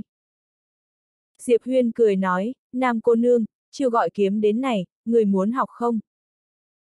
Nam Ly Thiên ngây người, sau đó tức giận nói, người muốn sỉ nhục ta sao? Diệp Huyên lắc đầu cười nói, người nghĩ nhiều rồi. Nói rồi, hắn khẽ vung tay phải, toàn bộ kiếm đều biến mất. Diệp Huyên nhìn Mạc Vân Khởi, đi thôi, đi gặp kỳ lão. kỳ lão. Vẻ mặt Mạc Vân khỏi khẽ run sợ, một lúc sau y gật đầu, được. Hai người rời đi. Lúc này, Nam Ly Thiên kia đột nhiên run giọng nói, ta, ta nguyện ý học cùng ngươi. Diệp Huyên dừng bước, hắn quay đầu nhìn Nam Ly Thiên, không nói gì rồi quay người rời đi cùng Mạc Vân Khởi. Nam Ly Thiên đứng tại chỗ, vẻ mặt trắng nhợt. Núi sau học viện Thương Lan. Diệp Huyên đến trước mộ lão kỷ, hắn không hề do dự mà chậm chậm quỳ xuống. Một ngày làm thầy, cả đời làm thầy. Diệp Huyên cứ quỳ như vậy. Ở bên cạnh, có hai người chậm rãi bước đến. Chính là Kỳ An Chi và Bạch Trạch. Hai người đi đến bên cạnh, im lặng không nói. Lúc này, Diệp Huyên chậm rãi đứng dậy, hắn quay người nhìn ba người Mạc Vân Khởi, cười nói, không gặp nhiều năm rồi. Nói rồi, hắn nhìn Mạc Vân Khởi, vẻ mặt phức tạp. Lúc này, Mạc Vân Khởi đã không còn dáng vẻ ngông nghênh như lúc trước nữa. Y, đã trưởng thành rồi. Bạch Trạch vẫn im lặng ít nói như vậy. Kỳ An Chi vẫn là một người cuồng ăn, lúc này trên tay còn đang cầm một cái đùi gà nữa. Mạc Vân khởi bỗng cười nói, đi, chúng ta tụ tập. Ngươi làm cơm. Diệp Huyên cười ha ha, được. Nhóm người đến phòng bếp học viện Thương Lan, phòng bếp vẫn là phòng bến lúc trước, nhìn cái bàn lớn trong phòng bếp, Diệp Huyên lắc đầu cười, cảm giác thân quen bỗng trào dâng trong lòng. Diệp Huyên cất kiếm Thanh Huyên, bắt đầu làm cơm. Ba người Mạc Vân Khởi thì phụ giúp. Mạc Vân Khởi bỗng nói, Diệp Thổ Phỉ, nói xem mấy chuyện ngươi trải qua đi. Bạch Trạch ở bên cạnh chợt gật đầu, tỏ vẻ đồng ý. Kỳ An Chi cũng nhìn Diệp Huyên. Diệp Huyên cười ha ha, thật ra, cũng không có gì đáng nói. Nhưng, nếu các ngươi đã muốn nghe, thì ta sẽ kể về những kinh nghiệm vô địch của ta vậy. Kể rằng, lúc đầu sau khi rời vũ trụ ngũ duy, ta lại trở thành vô địch, vì để tìm kiếm đối thủ mạnh hơn, ta. Diệp Huyên vừa làm cơm vừa chém gió, càng chém càng to. Còn mấy người mặc vân khởi thì lại nghe rất hăng say. Vũ trụ bên ngoài. Thật ra, bọn họ cũng rất khao khát, nhưng, bọn họ cũng biết thực lực bản thân, với thực lực hiện tại của họ, muốn đi ra thế giới bên ngoài thì rất nguy hiểm. Một lúc lâu sau, Diệp Huyên làm ra cả một bàn thức ăn, bốn người ngồi vây quanh bàn. Mạc Vân Khởi nhìn Diệp Huyên, sau này ngươi có tính toán gì? Diệp Huyên nói, đi thừa kế gia sản của mẹ ruột ta để lại cho ta. Vẻ mặt Mạc Vân Khởi cứng đờ. Diệp Huyên lại nói, gần như là cả một vũ trụ. Mạc Vân Khởi buông đũa xuống, không ăn nữa. Bạch Trạch do dự chốc lát, sau đó nói, có thể để lại cho ta một thế giới nhỏ không? Lớn chừng Thanh Châu là được. Diệp Huyên nhìn Bạch Trạch, có chút hiếu kỳ, người muốn làm gì? Bạch Trạch nói, nuôi dê. Vẻ mặt Diệp Huyên cứng đờ. mặc Vân Khởi ở bên cạnh lắc đầu khẽ cười, bây giờ hắn ngày nào cũng nuôi dê, dưới tay hắn, có đến mấy vạn con đấy. Diệp Huyên cười nói, Bạch Trạch, sao ngươi lại có hứng thú với nuôi dê rồi? Bạch Trạch ăn mấy miếng cơm, sau đó nói, hứng thú. Hứng thú. Diệp Huyên cười nói, được, đến lúc đó ta để lại cho ngươi. Nói xong, hắn quay đầu nhìn Kỳ An Chi, An Chi, ngươi thì sao? Kỳ An Chi im lặng một lúc rồi nói, ngươi từng nói, nơi đây là nhà ngươi, chung quy ngươi cũng sẽ quay về nơi này, đúng chứ? Diệp Huyên gật đầu, đúng. Kỳ An Chi nhìn Diệp Huyên, vậy ta ở đây đợi ngươi. Diệp Huyên im lặng một lúc lâu rồi nói, được. Kỳ An Chi chợt ngây người, bỗng nhiên cầm lấy đùi gà rồi gặm. Được. Đây là một lời hứa. Diệp Huyên nhìn ba người, sau đó nói, lần này quay về, học viện Thương Lan đã xảy ra thay đổi lớn, thanh thương giới cũng đã thay đổi rất lớn, với thực lực hiện tại của thanh thương giới, sớm muộn gì cũng sẽ tiếp xúc với thế giới bên ngoài, vì vậy, thực lực của các ngươi nhất định phải tăng lên. Tuy chúng ta không mang suy nghĩ xưng bá vũ trụ, nhưng phải có thực lực không bị chèn ép. Mạc Vân khởi gật đầu, đúng. Nói rồi, hắn nhìn Diệp Huyên, người có thứ gì tốt không? Diệp Huyên gật đầu, hắn lấy ra một chiếc nhẫn chứa đồ đặt lên bàn, trong nhẫn chứa đồ này, có tinh mạch, vật này rất quý giá, các ngươi không nên để lộ quá nhiều, trách rước về phiền phức không cần thiết. Mạc Vân Khởi không khách sáo nhận lấy nhẫn chứa đồ, sau đó nói còn nữa không? Diệp Huyên lắc đầu, tạm thời không có. Mạc Vân Khởi gật đầu, ăn cơm thôi. Nói rồi, ba người lập tức ăn cơm. Diệp Huyên cười ha ha, cũng đang định động đũa, thì lúc này, một cô gái bỗng xuất hiện bên ngoài cửa phòng bếp, chính là Nam Ly Thiên. Nam Ly Thiên nhìn Diệp Huyên, chậm rãi quỳ xuống, xin nhận ta làm đồ đệ. Diệp Huyên nhìn Nam Ly Thiên, tại sao ta phải nhận ngươi làm đồ đệ? Nam Ly Thiên nhìn Diệp Huyên chằm chằm, ta sẽ không sỉ nhục ngươi. Diệp Huyên lại lắc đầu. Nam Ly Thiên im lặng. Không lâu sau, bốn người Diệp Huyên quét sạch một bàn đồ ăn. Mặc Vân khởi lau khóe miệng, sau đó cười nói, vẫn là mùi vị trước đây. Ta còn chút chuyện phải xử lý. Nói xong, y đứng dậy rời đi. Chưa đi được hai bước, y bỗng dừng lại, sau đó quay người nhìn Bạch Trạch, đưa mắt ra hiệu, người không đi chăn dê sao. Rõ ràng, là muốn tạo cơ hội cho Diệp Huyên và Kỳ An Chi ở lại với nhau. Bạch Trạch liếc nhìn Mạc Vân Khởi, bây giờ tối rồi, thể dê cái gì? Ngươi đúng là đồ thiểu năng. Mạc Vân Khởi nhìn Bạch Trạch chằm chằm, đi thả dê. Bạch Trạch bỗng đập bàn, Mạc Điêu Mao, hôm nay người cố ý kiếm chuyện đúng không? Vẻ mặt Mạc Vân Khởi khá khó coi, đáng đời cái tên như người độc thân, người sẽ độc thân cả đời. Cái tên ngốc này, nghe vậy, Bạch Trạch bằng ngây người, sau đó, hắn liếc nhìn Diệp Huyên và Kỳ An Chi, sau đó nói, ta, ta làm phiền các ngươi rồi sao? Diệp Huyên. Cuối cùng, Bạch Trạch bị Mạc Vân Khởi mang đi. Trong phòng bếp chỉ còn Diệp Huyên và Kỳ An Chi. Diệp Huyên mỉm cười nhìn Kỳ An Chi trước mặt, giây phút này, hắn nhớ đến cảnh tượng lần đầu tiên gặp Kỳ An Chi. Khi đó Kỳ An Chi không mảnh vải che thân. Đương nhiên, Diệp Huyên hắn là chính nhân quân tử, thứ không nên nhìn chắc chắn không nhìn, đương nhiên, thứ nên nhìn chắc chắn sẽ nhìn. Kỳ An Chi thoáng nhìn Diệp Huyên, đang nghĩ gì thế? Diệp Huyên thu hồi suy nghĩ, mỉm cười, không có gì. Nói xong, hắn đi đến trước mặt Kỳ An Chi, sau đó mở lòng bàn tay ra, một thanh đao xuất hiện trong tay hắn. Đao này dài chừng ba thước, toàn thân đao màu lam thăm thẳm, lưỡi đao lại đỏ tươi như máu, khiến người ta không rét mà run. Chuôi đao nhẹ nhàng linh hoạt, hai mặt trái phải lần lượt khắc hai chữ Diệp và An. Nhìn thấy thanh đao này, Kỳ An Chi sửng sốt. Diệp Huyên cười nói, đây là ta đặc biệt chế tạo cho nàng. Đao này do vô số tinh thần chi lực chế tạo thành, khi vùng đao sẽ có tinh thần chi lực mạnh mẽ thêm vào, trừ cái đó ra, đao này công được thủ được, khi vùng đao có thể thi triển ra bảo vệ của tinh thần chi ái. Kỳ An Chi nhìn Diệp Huyên, bảo vệ của tinh thần chi ái. Diệp Huyên gật đầu, chân thành nói, chính là bảo vệ của ta. Kỳ An Chi. Tiểu tháp đột nhiên nói, này, tiểu chủ, người thật không biết xấu hổ. Diệp Huyên. Kỳ An Chi giơ tay cầm lấy chuôi đao, vừa vào tay đã thấy mát lạnh mượt mà, cảm giác vô cùng tốt. Nhìn thanh đao trong tay, khóe miệng Kỳ An Chi hơi cong lên, đặc biệt là khi nhìn thấy hai chữ ở chuôi đao. Nhìn ra được nàng ta rất thích. Diệp Huyên lại lấy ra một chiếc nhẫn chứa đồ đưa cho Kỳ An Chi, An Chi, đây là món quà nhỏ ta tặng cho nàng. Kỳ An Chi nhìn Diệp Huyên, là cái gì? Diệp Huyên cười nói, nàng nhìn xem. Kỳ An Chi quét nhìn nhẫn chứa đồ, ngay sau đó, nàng ta trực tiếp sửng sốt.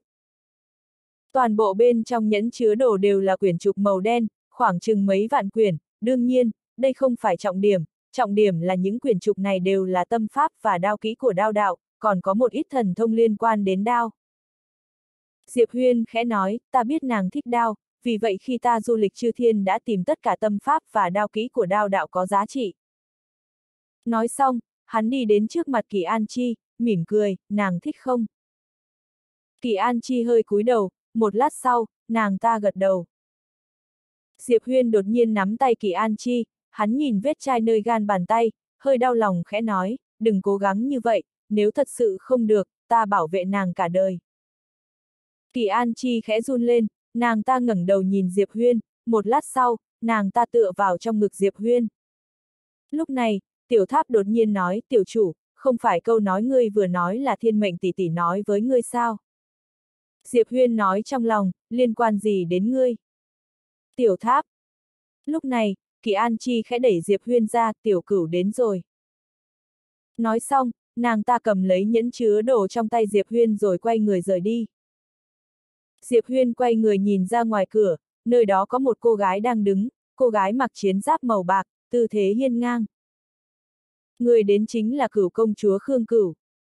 Khương Cửu cũng trưởng thành hơn trước kia rất nhiều. Khương Cửu cười nói, không quấy rầy các ngươi chứ. Diệp Huyên cười ha hả, vội vàng lảng sang chuyện khác tiểu cửu, nhiều năm không gặp, nàng đúng là càng ngày càng đẹp. Khương Cửu chớp chớp mắt, có xinh đẹp như An Chi không? Sắc mặt Diệp Huyên cứng đờ. Câu hỏi chí mạng. Lúc này, Diệp Huyên đột nhiên mở lòng bàn tay ra, tiểu tháp xuất hiện trong tay hắn, Diệp Huyên nhìn tiểu tháp, nhíu mày, ngươi nói bậy gì vậy? Tiểu cửu và An Chi đều xinh đẹp, biết không? Tiểu tháp lập tức cuống lên, ngóa, tiểu chủ, ngươi. Diệp Huyên hơi bất mãn, ngươi cái gì mà ngươi? Ngươi là một cái tháp nát, ngươi biết cái búa. Nói xong, hắn dứt khoát thu lại tiểu tháp, sau đó tiện tay cấm ngôn tiểu tháp. Tiểu tháp. Khương Cửu nhìn Diệp Huyên, tháp kia nói gì? Diệp Huyên cười nói, nó nói nàng rất xinh đẹp. Khương Cửu lườm Diệp Huyên, ba phải. Diệp Huyên mỉm cười, trong lòng thả lòng, ải này coi như qua. Khương Cửu thoáng nhìn Nam Ly Thiên vẫn đang quỳ ngoài cửa, người không nhận nàng ta sao? Diệp Huyên thoáng nhìn Nam Ly Thiên, lắc đầu, cô gái này kiêu căng ngạo mạn, phải áp chế một chút, nếu không tương lai dễ dàng chịu thiệt. Khương Cửu khẽ gật đầu, lại nói, lần này trở về định ở bao lâu? Diệp Huyên ngẫm nghĩ, sau đó nói, chẳng mấy chốc sẽ đi. Khương Cửu im lặng. Diệp Huyên đột nhiên đi đến trước mặt Khương Cửu, hắn mỉm cười, dẫn nàng đến một nơi. Khương Cửu nhìn Diệp Huyên, nơi nào? Diệp Huyên cười nói, nàng đến rồi sẽ biết. Nói xong, hắn đột nhiên nắm lấy tay Khương Cửu, sau đó hai người trực tiếp biến mất. Xuyên qua thời không. Trong chớp mắt, Diệp Huyên và Khương Cửu đáp xuống đất, Khương Cửu chậm rãi mở hai mắt ra, khi nhìn thấy xung quanh, nàng ấy lập tức sững sờ. Lúc này nàng ấy và Diệp Huyên đang ở trong một biển hoa, đập vào tầm mắt là những bông hoa bí ẩn tươi đẹp, chính là kiểu nhìn không thấy được tận cùng. Trong biển hoa có vô số bươm bướm vần quanh, trên biển hoa cũng thi thoảng có tiên hạc lượn qua. Giây phút này, Khương Cửu cảm thấy mình như đang ở trong tiên cảnh. Khương Cửu quay đầu nhìn về phía Diệp Huyên, đây, là đâu? Diệp Huyên cười nói, tiểu cửu giới. Tiểu cửu giới. Nghe vậy, Khương Cửu sửng sốt. Diệp Huyên thoáng nhìn xung quanh, sau đó khẽ nói, ta du lịch chư thiên, tìm được một nơi yên tĩnh như vậy. Nói đến đây, hắn nhìn về phía Khương Cửu, cười nói, thích không? Khương Cửu nhìn Diệp Huyên, chắc hẳn thế giới này có không ít sinh linh, ngươi. Diệp Huyên cười nói, ta há lại là loại người vì lấy lòng phụ nữ mà tàn sát sinh linh. Linh khí nơi này vốn khô kiệt, đã hoàn toàn sụp đổ, là ta thả vài tinh mạch vào bên trong, bởi vậy, thế giới này mới tiếp tục sinh sôi. Khương Cửu khẽ gật đầu, vậy là tốt rồi. Diệp Huyên cười nói, thích nơi này không? Khương Cửu cười nói, mục đích ngươi làm những chuyện này là gì? Diệp Huyên suy nghĩ, sau đó nói, muốn nàng vui vẻ. Trên mặt Khương Cửu nở nụ cười rực rỡ, vậy ngươi cảm thấy ta vui vẻ không? Diệp Huyên do dự một lát, sau đó nói, không biết. Khương Cửu khẽ lắc đầu, an chỉ ở trên núi quanh năm, khiếm khuyết đối nhân xử thế, vài lời ngon tiếng ngọt của ngươi cũng đủ khiến nàng ta cảm động không thôi. Nói xong, nàng ấy ngẩng đầu nhìn thẳng Diệp Huyên, có lẽ nàng ta chỉ là một trong những người phụ nữ của ngươi, nhưng mà, ngươi là duy nhất của nàng ta. Khi phụ nữ vô tình, phụ bạc vô cùng tàn nhẫn, khi phụ nữ có tình, yêu thương vô cùng sâu đậm, Diệp Huyên, đừng phụ nàng ta. Diệp Huyên gật đầu, ta biết. Khương Cửu cười nói, đương nhiên, lần này ngươi trở về đối xử với nàng ta như vậy, cũng cho nàng ta một lời hứa hẹn, vậy là đúng, đàn ông mà. Thích thì phải gánh vác, nếu như không thích, vậy đừng đùa giỡn người ta. Quay người thoáng nhìn xung quanh, sau đó khẽ nói, người dẫn ta đến chỗ này cũng là muốn hứa hẹn với ta sao? Diệp Huyên gật đầu. Khương Cửu nhìn Diệp Huyên, cười nói, biển hoa rất đẹp, có lòng rồi. Diệp Huyên cười nói, nàng thích là được. Khương Cửu khẽ nói, còn nhớ lần đầu chúng ta gặp mặt không? Diệp Huyên gật đầu. Khương Cửu nhìn Diệp Huyên, cười nói, ta đặc biệt thích câu nói, có nước mới có nhà kia của ngươi. Diệp Huyên im lặng, Khương Cửu lại nói, ta thích thiếu niên khi ấy. Diệp Huyên mỉm cười, tiểu cửu, nàng cảm thấy ta thay đổi rồi sao? Khương Cửu im lặng. Diệp Huyên mở lòng bàn tay ra, kim đao năm đó Khương Cửu tặng hắn xuất hiện trong lòng bàn tay, hắn nhìn Khương Cửu, từng có lúc, mục tiêu của ta chỉ là mang theo muội muội sống cuộc sống yên bình. Nhưng sau đó ta phát hiện, muốn sống yên bình, nói dễ hơn làm. Nói xong, hắn ngẩng đầu nhìn lên tinh không, tiểu cửu, nàng có biết tinh không này lớn bao nhiêu không? Vô cùng lớn, trong vũ trụ minh mông này có vô số thế lực mạnh mẽ, còn có rất nhiều cao thủ siêu cấp mà nàng không cách nào tưởng tượng. Có lẽ nàng còn không biết, một số người, chỉ cần một suy nghĩ cũng đủ khiến cho vùng vũ trụ như Thanh Châu này hoàn toàn biến mất. Nói đến đây, hắn nhìn tiểu cửu, ta cũng muốn làm cậu thiếu niên khi ấy, nhưng mà, sau khi ta trở về làm thiếu niên khi ấy, ai sẽ bảo vệ Thanh Châu? Ai sẽ bảo vệ các nàng? Nàng thích Diệp Huyên trước kia, nhưng dù sao Diệp Huyên kia cũng phải trưởng thành. Tiểu cửu im lặng. Diệp Huyên lại nói, ta trước đây hay ta bây giờ thì vẫn là ta. Nàng bởi vì câu nói có nước mới có nhà kia mà có ấn tượng tốt với ta, vậy nàng có biết, bây giờ ta không chỉ phải bảo vệ một nước hay một thanh châu, ta phải bảo vệ vũ trụ ngũ duy, vũ trụ cửu duy, và rất nhiều rất nhiều. Nói xong, hắn đặt kim đao vào trong tay tiểu cửu, đương nhiên, ta cũng hiểu nàng. Đao này là năm đó nàng tặng ta, ta vẫn luôn giữ trong người, ta biết, đây là một phần tình nghĩa. Như nàng vừa nói, hôm nay ta tới tìm nàng cũng là muốn cho nàng một lời hứa hẹn, hoặc có thể coi như một lần tỏ thái độ của ta. Diệp Huyên ta không thích che che giấu giấu, thích là thích, không thích là không thích. Hôm nay, ta trả lại nàng kim đao nàng tặng ta. Tiểu cửu nhìn kim đao trong tay, im lặng không nói. Diệp Huyên mở lòng bàn tay ra, một nhẫn chứa đồ xuất hiện trong tay hắn, hắn đặt nhẫn chứa đồ vào trong tay tiểu cửu, sau đó nói, trong nhẫn chứa đồ có rất nhiều vật dùng trong tu luyện, còn có một số binh thư, mặc dù bây giờ Thanh Châu sẽ không xảy ra chiến tranh, nhưng ta biết nàng thích binh pháp, bởi vậy, những năm ở bên ngoài này, ta cũng góp nhặt được một số. Trừ cái đó ra, bên trong có có một số võ kỹ và công pháp tu luyện thích hợp với nàng, hẳn là có trợ giúp cho nàng. Khương Cửu im lặng. Diệp Huyên cười nói, ta làm những chuyện này đúng là đang lấy lòng nàng, thích một người là khiến người đó vui vẻ, như vậy là sai sao? Khi còn trẻ, ta chẳng có gì, ta chỉ có thể cho nàng một trái tim chân thành, bây giờ lòng ta vẫn như cũ, nhưng ngoài trái tim chân thành ra, ta còn có thể cho nàng những vật chất tốt hơn, chỉ cần ta có, ta đều muốn cho nàng, để nàng vui vẻ, để nàng hạnh phúc.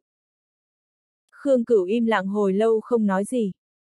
Diệp Huyên quay đầu nhìn xung quanh, khẽ nói, lần này ta đến huyền giới, sống chết không rõ, hôm nay tạm biệt, nếu như không có duyên, vậy gặp lại ở kiếp sau. Tiểu tháp đột nhiên nói, tiểu chủ, không phải ngươi đi thừa kế tài sản sao? Diệp Huyên nói trong lòng, liên quan gì đến ngươi?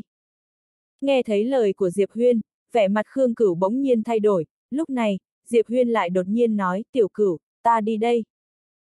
Nói xong, hắn quay người rời đi. Lúc này, tiểu cửu đột nhiên nắm lấy tay Diệp Huyên, nàng ấy đặt kim đao vào trong tay Diệp Huyên, nói, cho dù bao lâu, ta ở Thanh Châu chờ chàng trở về. Nếu chàng không về, ta sẽ đi theo chàng. Nói xong, nàng ấy khẽ rúc vào vòng ôm của Diệp Huyên. Tiểu tháp. Giữa biển hoa, hai người ôm chặt lấy nhau. Diệp Huyên nhìn về những ngọn nắng phía chân trời xa tít rồi đưa tay phải vuốt nhẹ lên lưng của tiểu cửu. Cuối cùng thì bức tường ngăn cách giữa hắn và tiểu cửu cũng đã được dỡ bỏ. Lần này hắn đến là muốn mang cho người hắn yêu một lời hứa. Một lúc lâu sau, Diệp Huyên và tiểu cửu rời đi. Tiểu cửu về nước Khương còn Diệp Huyên thì về học viện Thương Lan. Tại núi Thương Lan, tiểu tháp đột nhiên nói, tiểu chủ, lúc nãy tiểu chủ mẫu tiểu cửu đã nói gì với người lúc chia tay thế? Sao lại khiến người cười có vẻ hừng hực vậy? Diệp Huyên lạnh lùng đáp, liên quan đách gì đến ngươi? Tiểu tháp. Diệp Huyên đến trước mặt Nam Ly Thiên, Nam Ly Thiên ngẩng đầu nhìn sang Diệp Huyên, ta đã biết sai rồi. Diệp Huyên mỉm cười, nói, đứng lên trước đi. Nam Ly Thiên do dự một lát rồi đứng dậy. Diệp Huyên quan sát Nam Ly Thiên, nói thích kiếm không? Nam Ly Thiên gật đầu, nói thích. Diệp Huyên suy nghĩ rồi nói, mục đích người học kiếm là gì? Nam Ly Thiên nhìn thẳng vào Diệp Huyên, nói, người muốn ta có mục đích gì thì ta sẽ có mục đích đó. Diệp Huyên sững người, hắn lắc đầu, mỉm cười, nói, thế này nhé, sau này ngươi sẽ là người bảo vệ học viện Thương Lan ta, được không? Nam Ly Thiên gật đầu, được. Diệp Huyên búng ngón tay, một luồng sáng trắng bay vào trán Nam Ly Thiên. ầm, um. Cơ thể Nam Ly Thiên hơi run lên, rất nhiều thông tin xuất hiện trong đầu. Diệp Huyên nói, đây là một truyền thừa kiếm đạo, bắt đầu từ hôm nay, người sẽ là người bảo vệ của học viện Thương Lan. Hắn nói xong thì quay đầu bỏ đi. Trước cửa điện, Nam Ly Thiên đứng lặng một hồi lâu rồi quay đi. Tiểu tháp ở phía xa đột nhiên nói, tiểu chủ, người không sợ người phụ nữ đó nuốt lời sao. Diệp Huyên mỉm cười, nói, đợi sau khi nàng ta luyện kiếm đạo của ta thì nàng ta sẽ kính ta như thần. Hắn nói xong thì biến mất, lúc hắn xuất hiện trở lại thì đã là ở Hoàng cung của Thác Bạt Ngạn rồi. Ở cổng đại điện Hoàng cung, Thác Bạt Ngạn mặc long bào đứng lặng im, vóc dáng thướt tha, khuôn mặt tuyệt sắc. Lúc này, Thác Bạt Ngạn quay sang nhìn Diệp Huyên, liếc hắn một cái rồi nói, ta còn tưởng chàng không về nữa chứ. Diệp Huyên mỉm cười, nói, sao có thể chứ? Audio điện tử võ tấn bền. Hết tập 191